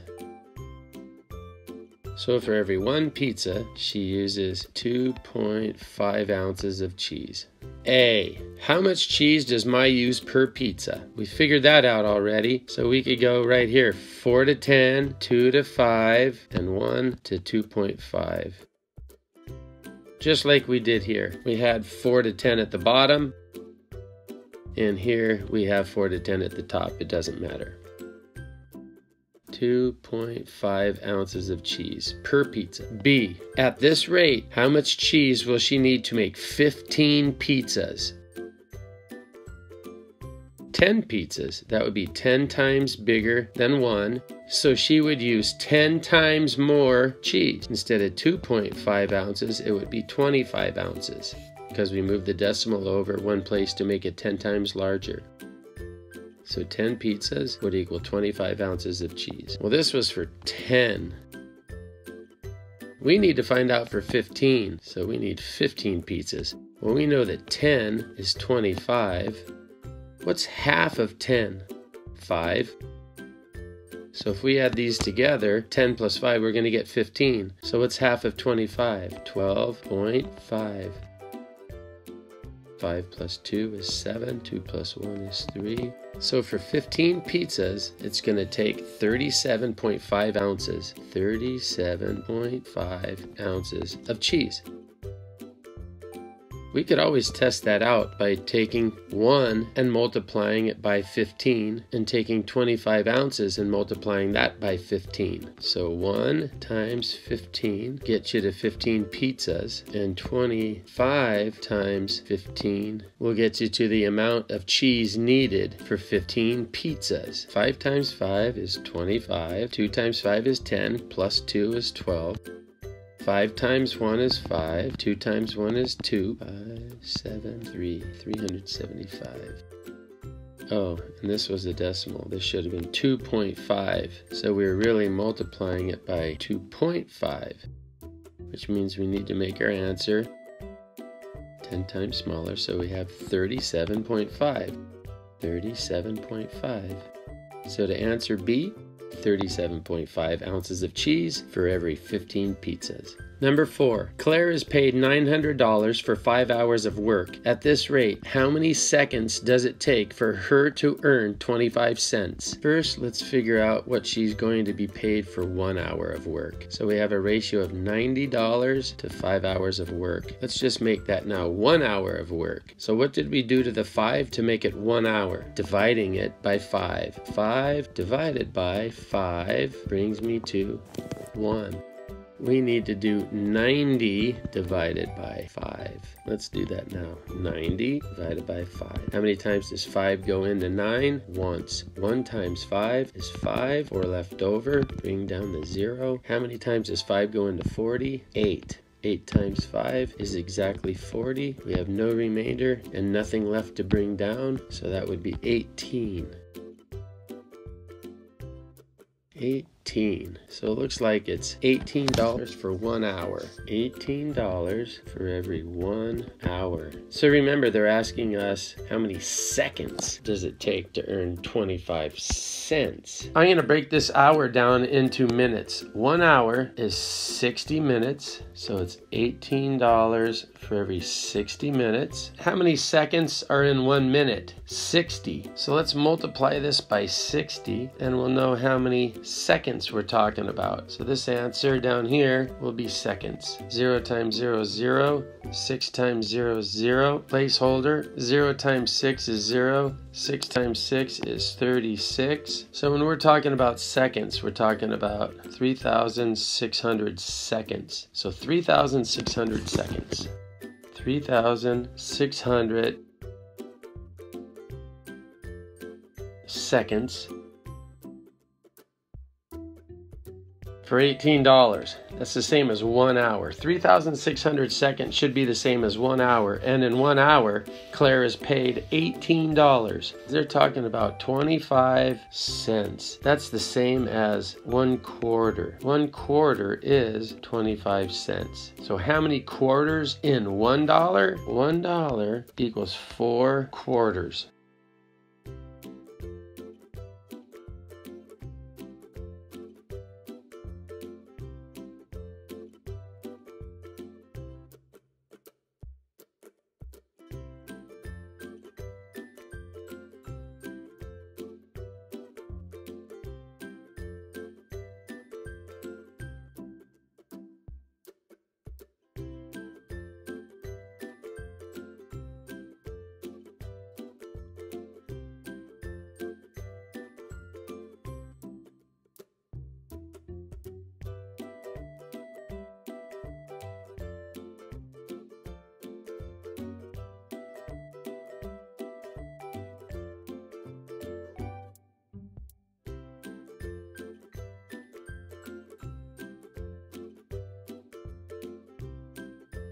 25 cents, Clare would have to work for 50 seconds.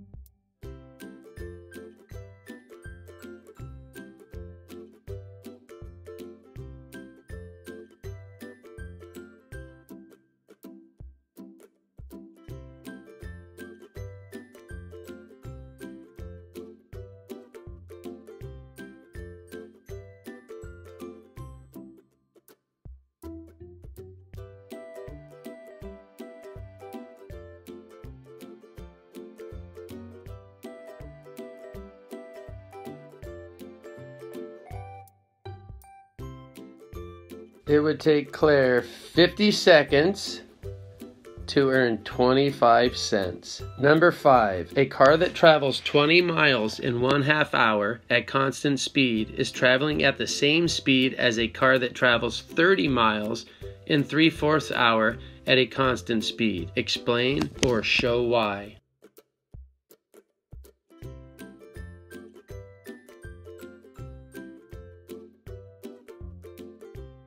Is miles and this is hour. Let's put our 20 miles here and our half hour here. Since they talked about 3 fourths, we can put our 3 fourths below the half because we know that a half is the same as 2 fourths. And then above the half, we would just have 1 fourth. 1 fourth is half of a half. So what is half of 20? 10. So for every 1 fourth of an hour, it travels 10 miles. So really, in the miles section, we're counting by tens. So here where it says miles, we're going to count by tens. 10, 20, 30, 40. And over here in the hours section, we're counting by quarter of an hour, which is really 15 minutes, but we're listing it as a quarter of an hour. One quarter, two quarters, which is the same as one half. One half plus another quarter equals three quarters. Let me say it like this. One quarter, two quarter, three quarter, and then finally four quarters, which is the same as one whole hour. So to find or to prove that it goes 30 miles in 3 fourths of an hour, we can use this chart. Number six, Lynn makes her favorite juice blend by mixing cranberry juice with apple juice in the ratio shown on the double number line. Complete the diagram to show smaller and larger batches that would taste the same as Lynn's favorite blend. We want it to taste the same as Lynn's favorite blend. So 9 divided by 3 would be 3. So it looks like we're counting by 3s. 0 to 3, 3 to 6, 3 to 6, 6 to 9, 9 to 12, 12 to 15. Apple juice. 21 divided by 3 is going to be 7, so it looks like they're counting by 7. 7, 14, 21, 28, 35. So here's some smaller and larger batches that would taste exactly the same. A 3 to 7 ratio of cranberry juice to apple juice, a 6 to 14 ratio, a 9 to 21 ratio, a 12 to 28 ratio, and a 15 to 35 ratio. Number seven, each of these is a pair of equivalent ratios. For each pair, explain why they are equivalent ratios or draw a representation that shows why they are equivalent ratios. A. I like this one because it's using the same digits. It uses this 6 and the 0 right here, and it uses the 4 and the 5 right here. So really we just made 600 10 times smaller by moving the decimal over. And we made the 450 10 times smaller by moving the decimal over. 60 is exactly 10 times smaller than 600 and 45 is exactly 10 times smaller than 450. B, 60 to 45 and 4 to 3.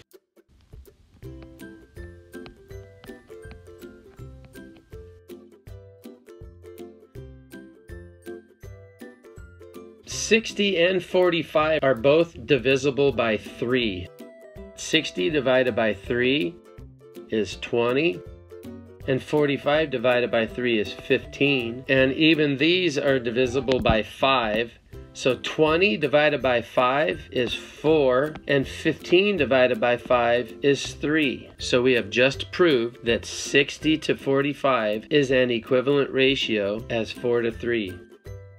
60 to 45, 20 to 15, 4 to 3. These are all equivalent ratios. C, 600 to 450, and 4 to 3. I know that both these numbers are divisible by 3. 600 divided by 3 is 200. 450 divided by 3 is 150. Both these numbers are divisible by 50. 200 divided by 50 is 4. And 150 divided by 50 is 3. So we've just proved that 600 to 450 is equivalent to 4 to 3. 600 to 450, 200 to 150, 4 to 3. They're all equivalent ratios. Congratulations, you've just completed Lesson 2, Unit 12, Navigating a Table of Equivalent Ratios.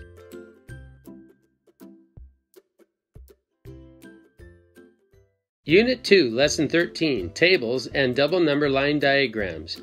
Number 1. The double number line shows how much water and how much lemonade powder to mix to make different amounts of lemonade. 2 cups of water to 1.5 scoops of lemonade powder. 4 cups of water to 3 lemonade powder scoops. 6 cups of water to 4.5 scoops of lemonade powder. Make a table that represents the same situation. The column on the left represents water, the column on the right represents the number of scoops. 2 to 1.5 5, 4 to 3, 6 to 4.5. Number 2. A bread recipe uses 3 tablespoons of olive oil for every 2 cloves of crushed garlic. A. Complete the table to show different sized batches of bread that taste the same as the recipe. We need to keep the ratio of 3 tablespoons of olive oil to 2 cloves of crushed garlic. So here's the original 3 to 2. And then here when they made the 3 into a 1, 3 divided by 3 brings you to 1. So 2 divided by 3 is the same thing as 2 thirds. So it would be 1 to 2 thirds. Well, if 1 equals 2 thirds, then 2 would be doubled two thirds, and double two thirds is four thirds, which is equal to four divided by 3. How many times does 3 go into 4? Once. 1 times 3 is 3. 4 minus 3 is 1. So your remainder is 1 over 3. 1 over 3. I'm going to jump down to the 10 because the 10 is going to be 10 times bigger than 1. So what's 10 times bigger than 2 thirds? 20 thirds. And remember, that means 20 divided by 3. How many times does 3 go into 20?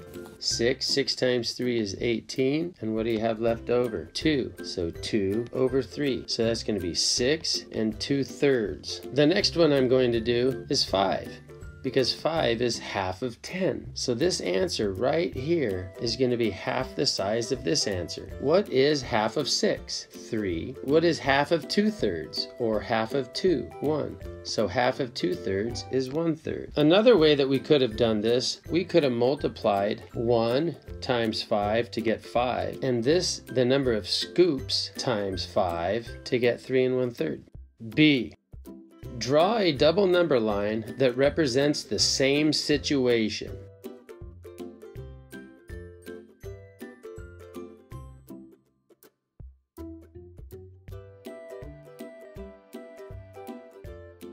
To start with 0 and then 1, 2, 3, 4. 1, 2, 3, 4, 5, 6, and this one here is going to be 10. With 1 tablespoon of olive oil, there's 2 thirds crushed garlic. So 2 thirds. So when there's 2, there's 1 and 1 third. 1 and 1 third. When there's 5, there's 3 and 1 third. 3 and 1 third. And then finally when there's 10, there's 6 and 2 thirds. 1 to 2 thirds, 2 to 1 1 and 1 third, 5 to 3 and 1 third, 10 to 6 and 2 thirds. C. Which representation do you think works better in this situation? Why? I preferred the table because it was easy for me to recognize the relationship between 10 and 1. The 10 is going to be 10 times larger than the 1. Also, the 5 is going to be half the size of 10. 3. Clare travels at a constant speed, as shown on the double number line. At this rate, how far does she travel in each of these intervals of time? Explain or show your reasoning. If you get stuck, consider using a table. Here's the distance in miles, and here is the elapsed time in hours. A. How far does she travel in one hour? One hour is missing, but they provide us with two hours. If she goes 72 miles in two hours, all we have to do is cut that in half and we have the distance for one hour. 72 divided by 2 equals 36. 36 miles in one hour. Three hours is just going to be 36 times 3, or the exact middle between 72 and 144 this space right here between 72 and 144. 144 plus 72. 216. Now we need to find the average between these two numbers, so we divide this by 2. 216 divided by 2.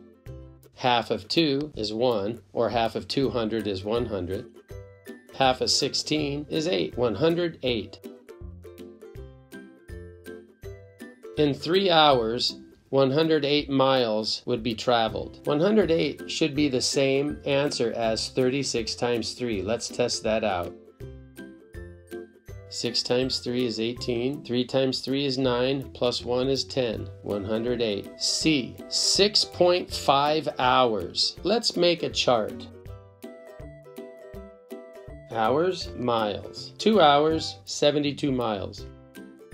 1 hour, 36 miles. So basically, we're counting by 36. 36, 72, 108, 144, 144 plus 36.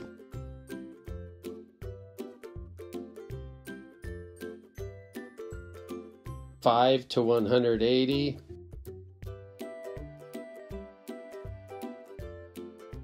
Six to 216.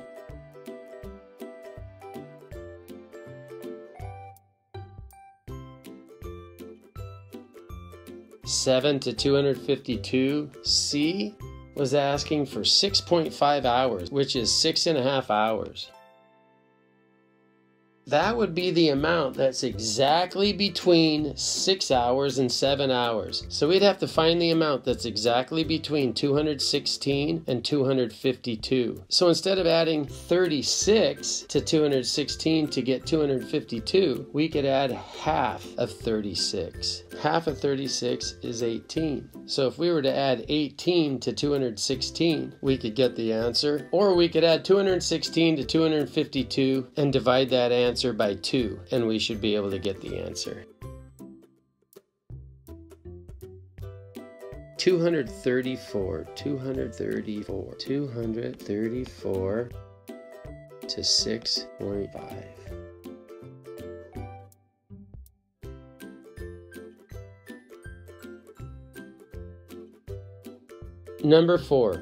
Lynn and Diego traveled in cars on the highway at constant speeds. In each case, decide who was traveling faster and explain how you know. During the first half hour, Lynn travels 23 miles while Diego travels 25 miles.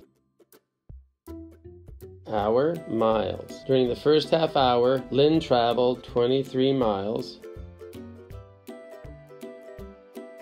Lynn on the left, Diego on the right. In the first half hour, Diego traveled 25 miles. Since 25 miles is greater than 23 miles, Diego traveled faster because he traveled a further distance in the same amount of time.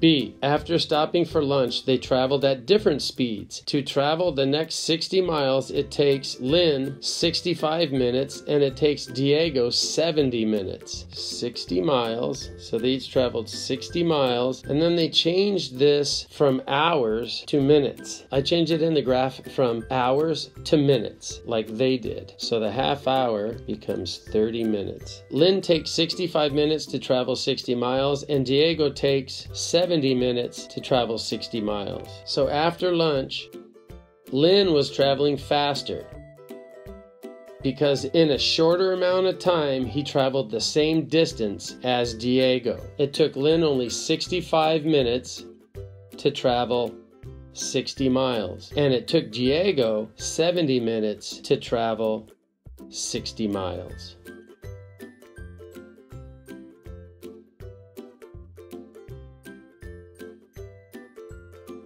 Number five, a sports drink recipe calls for 5 thirds tablespoons of powdered drink mix for every 12 ounces of water. How many batches can you make with 5 tablespoons of drink mix and 36 ounces of water? Explain your reasoning.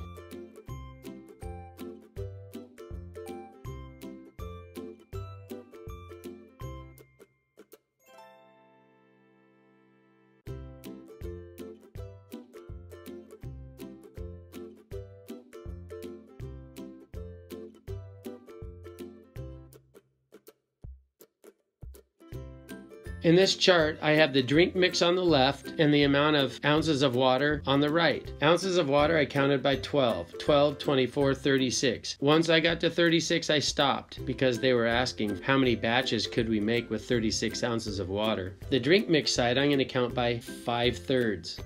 5 thirds, 10 thirds, 15 thirds. 15 thirds really means 15 divided by 3. 5. 5 tablespoons of drink mix to 36 ounces of water. This represents the first batch, the second batch, and the third batch. 36 ounces of water and 5 tablespoons of drink mix would make 3 batches of sports drink. 5A. What is the surface area of this cube? 3 by 3. 3 times 3 is 9. 1, 2, 3, 4, 5, 6, 7, 8, 9. Each side is worth 9. On a cube, there's a top, a bottom, a front, a back, a right side, and a left side. 1, 2, 3, 4, 5, 6 times 9. 6 times 9 equals 6 less than 6 times 10. I know 6 times 10 is 60. 60 minus 6 is 54. So 6 times 9 should be 54. And these are units squared. 54 square units. The area is 54 units squared. B. What is the volume of this cube? Volume equals base times height times length. 3 times 3 times 3. 3 times 3 is 9. 9 times 3 is 27 units cubed.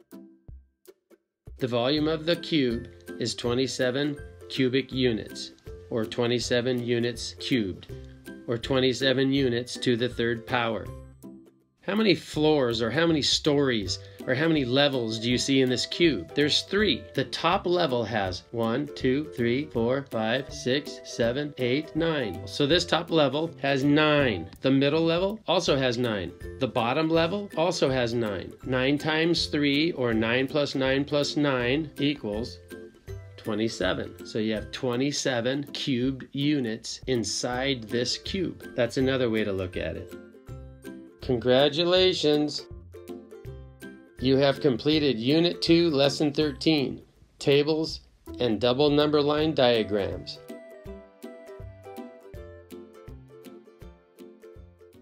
Unit 2, Lesson 14, Solving Equivalent Ratio Problems. A chef is making pickles. He needs 15 gallons of vinegar. The store sells 2 gallons of vinegar for $3 and allows customers to buy any amount of vinegar. Decide whether each of the following ratios correctly represents the price of vinegar. He needs 15 gallons of vinegar. 2 gallons of vinegar is $3. And if 2 gallons of vinegar is $3, then 1 gallon of vinegar would be $1.50. A. 4 gallons to $3. No, that's not true because we know it's 2 gallons to $3. B. 1 gallon to $1.50. Yep, we know that's true. C. 30 gallons to $45. Well, let's multiply 1 times 30 to make 30 gallons. And then let's multiply $1.50 times 30 to see if it gives us 45. 0 times 0 is 0. 5 times 0 is 0. 1 times 0 is 0. Placeholder. 0 times 3 is 0. 5 times 3 is 15. 1 times 3 plus 1 is 4. So there's the 30 to 45. So we know that's true. So D, $2 to 30 gallons. No, that's not even going to be close. If it's a dollar fifty per gallon, for a dollar fifty for one gallon, then there's no way you're going to get 30 gallons for $2. So if we double this one gallon, if we multiply 1 times 30. 1 times 30 to get 30 gallons, and we'd have to multiply $1.50 times 30. And that's going to get us 45. So, in fact, right here, C says 30 gallons is $45. So we know that D can't be correct. 30 gallons can't be for $2. E, $1 to two thirds gallon. In order to change $3 to $1, we'd have to divide the $3 by 3. So let's divide 2 by 3. Well, another way to do 2 divided by 3 would be 2 over 3. So 2 thirds gallon is $1. Number 2. A caterer needs to buy 21 pounds of pasta to cater a wedding. At a local store, 8 pounds of pasta cost $12. How much will the caterer pay for the pasta there? How much will the caterer pay for pasta? So right now we know it's 8 pounds for $12. So I'm going to divide this by 8 and get 1. So 1 pound, divide this by 8 is $1.50. So 1 pound for $1.50 $1.50. I'm to write that down here for B because they ask us about that. 1 to a dollar 50. So a dollar 50 times 21 pounds.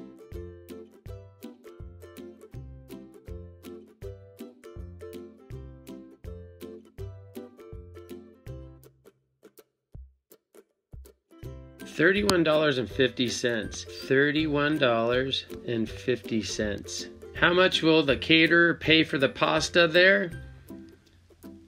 At that store, the caterer would pay $31.50 for 21 pounds of pasta. A.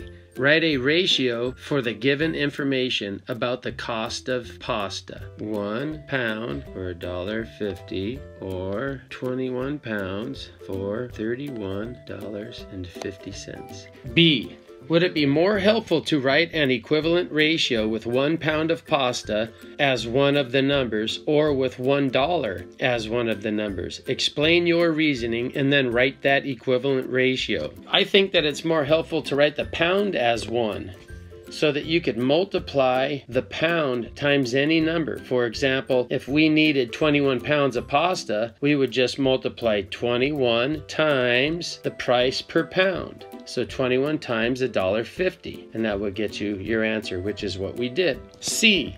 Find the answer and explain or show your reasoning. Well, we already found the answer. The answer is $31.50 and it's because he's buying 21 pounds for $31.50, which is the same rate as 1 pound for $1.50. So if 1 pound costs $1.50, then 21 pounds would cost $31.50. Number 3. Lynn is reading a 47 page book. She read the first 20 pages in 35 minutes. 20 pages in 35 minutes. So this is minutes and this is pages. A. If she continues to read at the same rate, will she be able to complete this book in under one hour? So the book has 47 pages. If we doubled the amount that she has already read, which is 20 pages, that would be 40 pages and that would be short of 47, so she wouldn't finish the book yet. And if we doubled 35 minutes, that would be 70 minutes. And 70 minutes is more than one hour. So the answer to A is no. B. If so, how much time will she have left? If not, how much more time is needed? Explain or show your reasoning. Let's see how long it takes you to read one page. One page in 1 and 15 twentieths, which is 1. Divide 15 by 5 is 3. Then divide 20 by 5, that's going to be 4.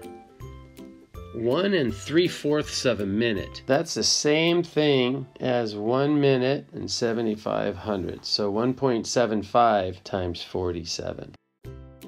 This will tell us how many how many minutes. So this will give us the minutes. 5 times 7 is 35. 7 times 7 is 49 plus 3 is 52. 1 times 7 is 7 plus 5 is 12. Placeholder. 5 times 4 is 20. 7 times 4 is 28 plus 2 is 30. 1 times 4 is 4 plus 3 is 7.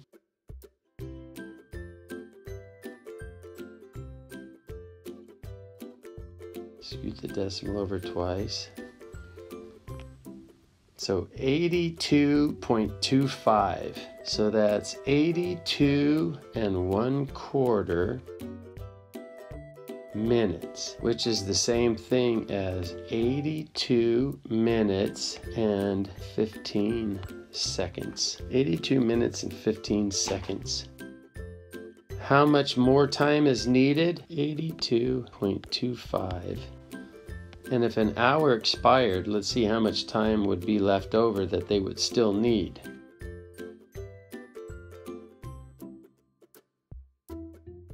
Twenty-two point two five. So they'd still need twenty-two and a quarter minutes. Needs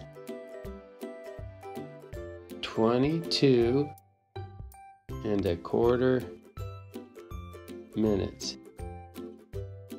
All the math that I showed was my explanation. Number 4. Diego can type 140 words in 4 minutes. At this rate, how long will it take him to type 385 words? First, I want to figure out how many words Diego can type in 1 minute. 140 words to 4 minutes is the same as see I divided the 4 by 4 to get 1 so now I need to divide 140 by 4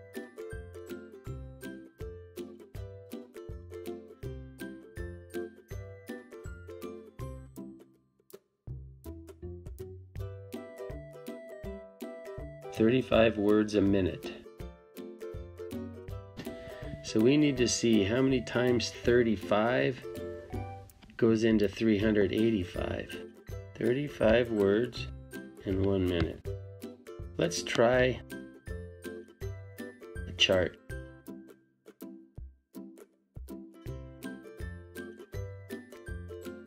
Thirty-five to one minute, so two minutes going to be double thirty-five, which is seventy. Because I doubled the 2 to get 4, now I'm going to double 70 to get 140. If I double the 4, I get 8, so that's 8 minutes. 140 doubled is 280. And they're asking about 385. Let's try to get close to that. Let's add 70 to 280 to get 350. And if I added 70 pages, then I need to add two minutes. So two minutes added eight would be 10. And then I think now we could get 385 down here by adding 35. So add 35 to 350 is 385. And we need to add 1 to 10. That would be 11. So it's going to take us 11 minutes to type 385 words. So it's going to be 11 minutes for A. B. How many words can he type in 15 minutes? So if we just kept on doing this, I can add 4 to 11, and that would give us 15 minutes. And if I'm adding the 4 to the 11, I need to add the 140 to 385. So 140 plus 385.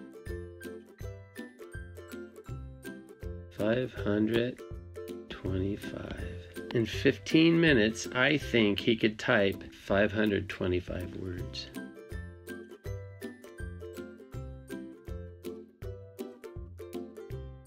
Number 5. A train that travels 30 miles in one third hour at a constant speed is going faster than a train that travels 20 miles in a half hour at a constant speed. Explain or show why. 30 miles in one third hour compared to 20 miles in one half hour. So let's just see what this would be in one hour. So one third multiplied by three gets me to one hour. So I need to multiply 30 times 3. 30 times 3 is 90. Let's make the half into an hour. And I multiplied one half times 2 to make one hour. So I need to multiply the 20 times 2. And 20 times 2 40. So the train that travels 30 miles in one third hour can go 90 miles in one hour. And the train that's only going 20 miles in a half hour is just going 40 miles in one hour. Number six, Find the surface area of the polyhedron that can be assembled from this net. Show your reasoning. 8 by 12. 8 by 12. And there's two of them. One here and one here. And since they're triangles, it's half of 8 by 12. Half of 8 by 12. Half of 8 by 12. Because there's two of them. Here's a rectangle that's 4 by 12. 4 by 12. Here's a rectangle that's 4 by 10. 4 by 10. And another rectangle that's 4 by 10. 4 by 10.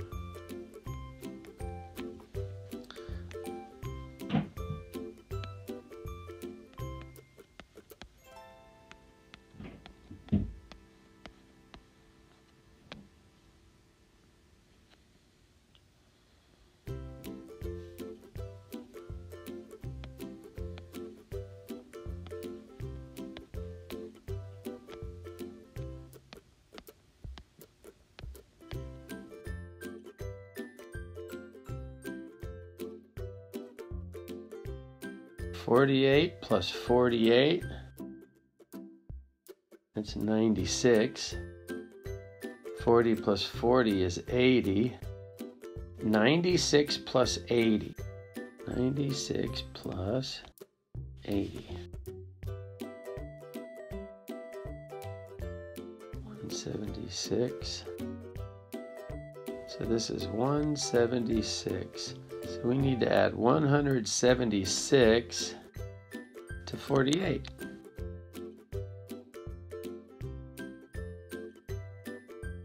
So the area is 224 inches squared.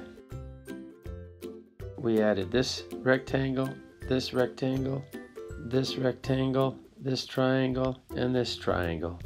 And we got the area was 224 inches squared. Congratulations! You finished Unit 2, Lesson 14, Solving Equivalent Ratio Problems.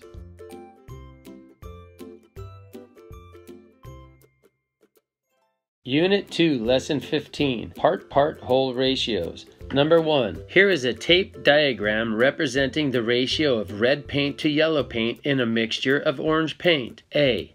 What is the ratio of yellow paint to red paint? It looks like a ratio of 2 yellow, 3 red. B. How many total cups of orange paint will this mixture yield? These are cups. This represents 3 cups. And these are cups, and this represents 3 cups. So yellow, there's a total of 6 cups, plus red, 9 cups. This is going to yield 15 cups of orange paint. 15 cups of orange paint will be yielded with this mixture. Number two, at the kennel, the ratio of cats to dogs is 4 to 5. There are 27 animals in all. Here is a tape diagram representing this ratio. One, two, three, four. That's four cats. One, two, three, four, five. That represents five dogs. But the total needs to be 27. Let's try three. Three, six, nine, 12. Pretend that there's 12 cats. Three, six, nine, 12, 15. let's pretend that there's 15 dogs. Let's add this up. 2 plus 5 is 7. 1 plus 1 is 2. 27. What is the value of each small rectangle? The value for each small rectangle is 3. How many dogs are at the kennel? This represents the number of dogs at the kennel. There's 15 dogs. How many cats are at the kennel? This represents the number of cats. There are 12 cats.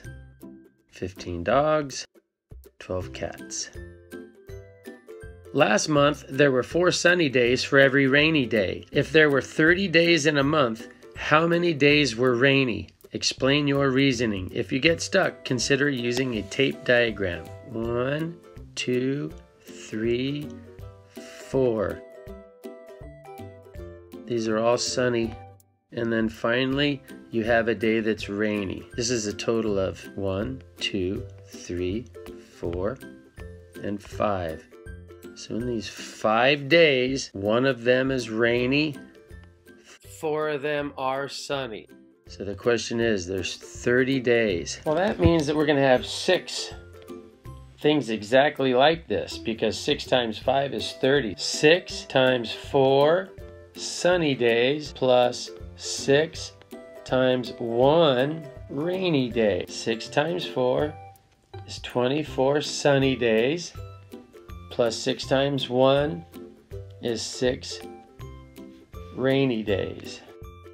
So every 30 days, there would be 24 sunny days and 6 rainy days. Number 4. Noah entered a 100 mile bike race. He knows he can ride 32 miles in 160 minutes. 32 miles in 160 minutes. So these are minutes, these are miles.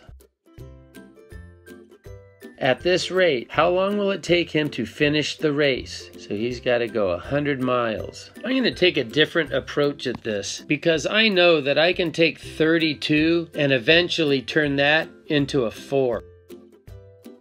I'm going to cut the 32 into half. That gives me 16. And then I cut it in half again. That gives me 8. And then I cut it in half again. That's going to give me 4. Now I'd need to do that to the 160. I'm going to cut the 160 in half and that's going to give me 80. I need to cut that in half again and that's going to give me 40. 40 divided by 2, that's going to give me 20. Well, the reason why I broke it down all the way down to a 4 is because I know that I can turn the 4 into 100. That's what they're asking for right here. A 100 mile bike race. So I took the 32 miles and I turned it into 4 miles because I know that I could multiply 4 times 25 to get 100 miles. Now all I got to do is multiply the 20 times 25. 10 times 25 would be 250. So 20 times 25 would be twice as big as 250. That would be 500. So my answer is right down here. 100 miles minutes. Noah entered 100 mile a 100 mile bike race. He can travel at 32 miles in 60 minutes, which is the same thing as traveling 4 miles in 20 minutes. And 4 miles in 20 minutes is the same thing as traveling 100 miles in 500 minutes that we can travel 100 miles in 500 minutes.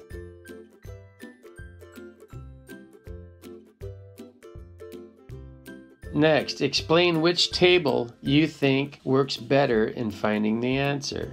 32 divided by 8 equals 4, so 160 divided by 8 equals 20.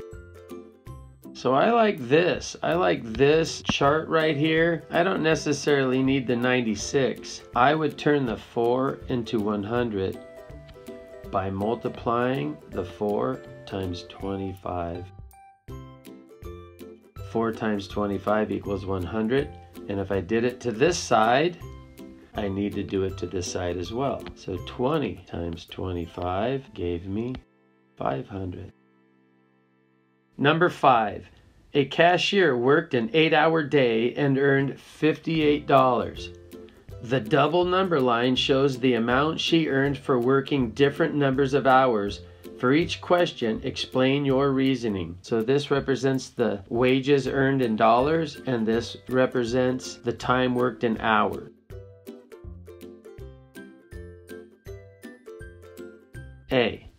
How much does the cashier earn per hour?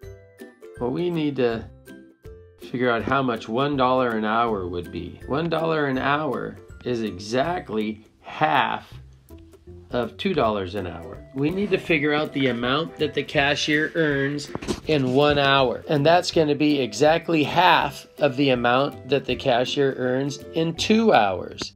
So we need to cut this number in half. Half of $14 is 7, and half of 5 dimes, or 50 cents, is 25 cents. So the cashier earns in one hour, they earn $7.25.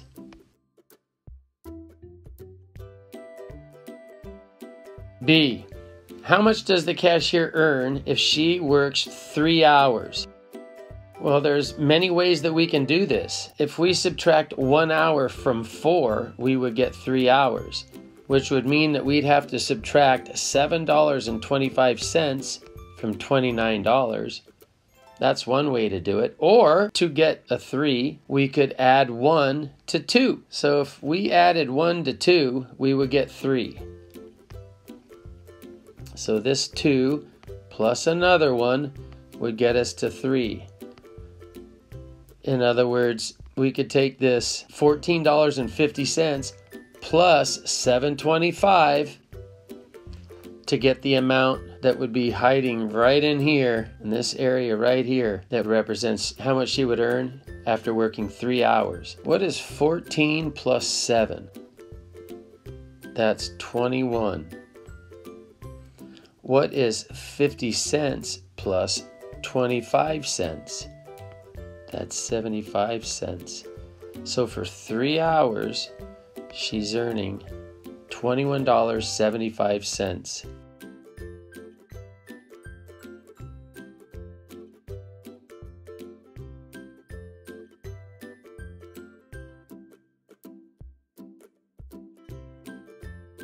A grocery store sells bags of oranges in two different sizes. Three pound bags cost $4. Eight pound bags cost $9. So let's say three to four compared to eight to nine. Which oranges cost less per pound? Explain or show your reasoning. So we're comparing 3 fourths to 8 ninths. We can show what it looks like this way. This represents 1 fourth, 2 fourths, and 3 fourths. 1 fourth, 2 fourths, 3 fourths. And we can compare that with 1 ninth, 2 ninths, 3 ninths, 4 ninths, 5 ninths, 6 ninths, 7 ninths, 8 ninths, and 9 ninths. This represents 1 ninth, 2 ninth, 3 ninths, 4 ninths, 5 ninths, 6 ninths, 7 ninths, and 8 ninths. 1 ninth, 2 ninths, 3 ninths, 4 ninths, 5 ninths, 6 ninths, 7 ninths, 8 ninths. 8 ninths leaves a smaller amount left over than 3 fourths. Therefore, 8 ninths is larger. 8 ninths is larger. Another way to do it is to do 3 divided by 4, and that comes out to 0.75 or 75 hundredths compared to 8 divided by 9. How many times does 9 go into 8? 0. Put your decimal. How many times does 9 go into 80? 8. It's going to go in 8 times. 8 times 9 is 72. 8 left over. Again, how many times does 9 go into 80? And this is just going to continue, isn't it? So we can put a line over it. So 88 hundredths repeated. 75 hundredths compared to 88 hundredths, and this is repeating itself. So we could look at these as if they were pennies. What's greater, 75 pennies or 88 pennies? 88 pennies would be greater, or 88 hundredths is greater than 75 hundredths.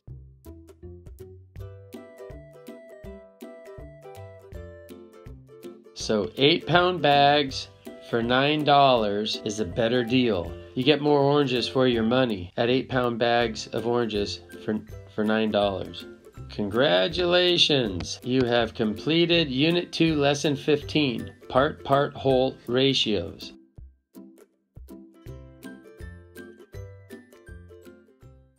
Unit 2, Lesson 16 Solving More Ratio Problems. Number 1. Describe a situation that could be represented with this tape diagram. There are a total of 30 fish in a lake, 18 bluefish, and 12 green fish. There are 30 fish in a lake, 18 bluefish to 12 green fish. Number two, there are some nickels, dimes, and quarters in a large piggy bank. For every two nickels, there are three dimes. For every two dimes, there are five quarters. There are 500 coins total. A. How many nickels, dimes, and quarters are in the piggy bank? Explain your reasoning.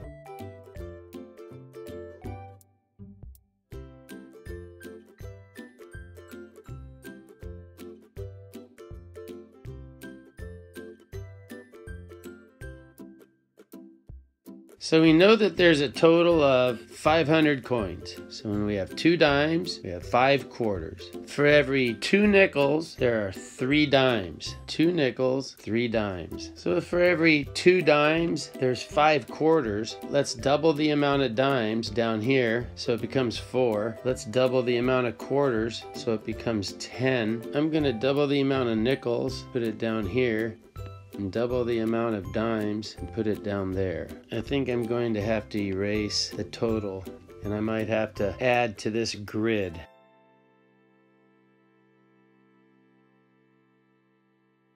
Two dimes. If we were to multiply that by three, we would get six, as we have right here. So let's multiply the amount of quarters by 3 so we keep the same ratio. 5 quarters times 3 would be 15. Well the good thing is, is now we know how many nickels, dimes, and quarters we have in this row right here. When we have 4 nickels, we have 6 dimes and 15 quarters for a total of 25. Now since we know that there are 500 coins total, we just have to figure out what number times 25 equals 500 and that's going to be times 20. So 25 times 20 would give us 500. 15 times 20 gives us 300. 6 times 20 gives us 120. 4 times 20 gives us 80. So if we add 80 plus 120, that's 200. 200 plus 300 equals 500. So to answer this question, we have 80 nickels, 120 dimes, and 300 quarters. 80 nickels, 120 dimes, and 300 quarters. B. How much are the coins in the piggy bank worth?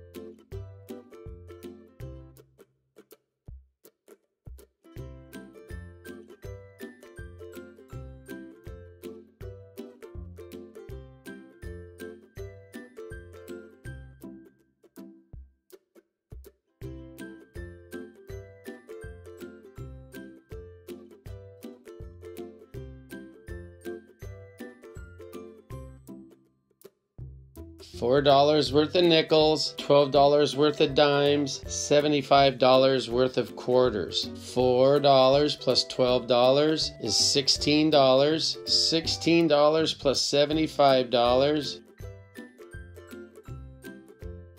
is $91. The value of all the coins totals $91.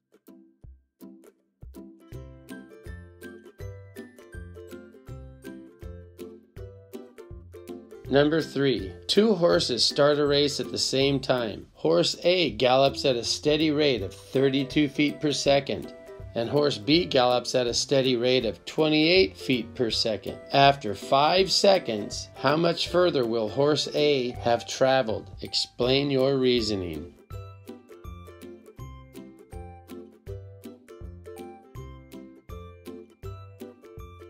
One second, two seconds, three seconds, four seconds, five seconds. Horse A goes 32 feet per second, and horse B goes 28 feet per second. So we're just counting by 32. So 32 plus 32 is 64. I'm going to add 32 to 64, 96. Add 32 to 96. Add 32 to 128. Well, 120 plus 30 is 150 and 2 plus 8 is 10, so 150 plus 10 would be 160. So after 5 seconds, horse A would have gone 160 feet. Horse B, we're just counting by 28, so 28 plus 28 is 56. 56 plus 20 is 76. 76 plus 8 should be 84. 84 plus 20 is 104, plus 8 more is 112. 112 plus 28, so 112 plus 20 is going to be 132. 132 plus 8 should be 140.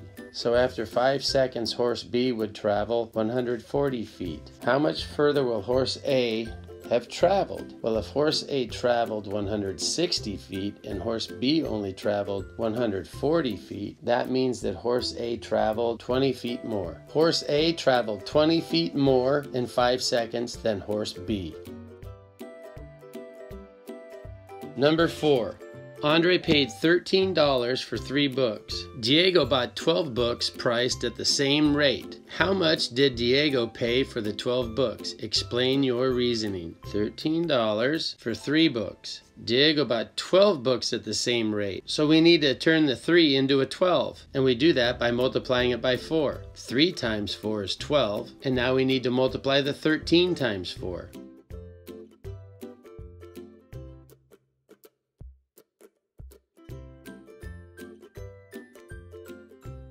Diego bought 12 books for $52. Number 5. Which polyhedron can be assembled from this net? Well, it's going to have a triangular shaped base, triangular shaped base, and it's going to form a pyramid. It's going to form a triangular pyramid. Number 6. Find the area of the triangle. Show your reasoning. If you get stuck, consider drawing a rectangle around the triangle. This is a 2 by 3 triangle, so a 2 by 3 triangle. This one over here is a 1, 2, 3 by 1, 2, 3, 4, 5. A 3 by 5. This is 2 by one, two, three, four, five. So this down here is a two by five, two by five. So we need to get rid of these triangles. If we subtract the three areas shaded in purple, it would leave us with the area that they gave us that's in blue. So I drew a five by five square. Five by five is 25 units squared.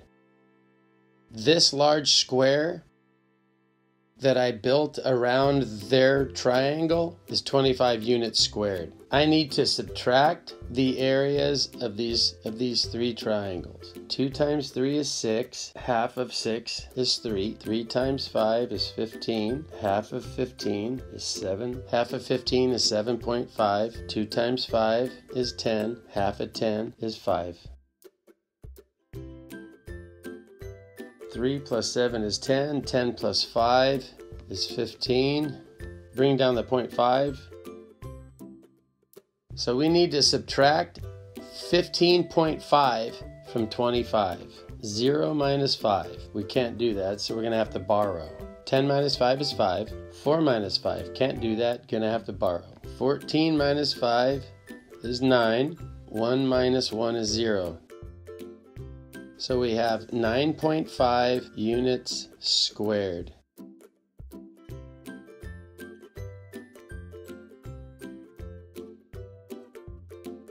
The area of the blue triangle is 9.5 units squared, or 9.5 square units. Congratulations!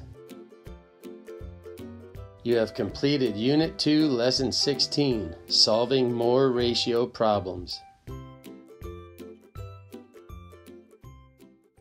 Subscribe to my YouTube channel for more tutorials. Thanks for watching.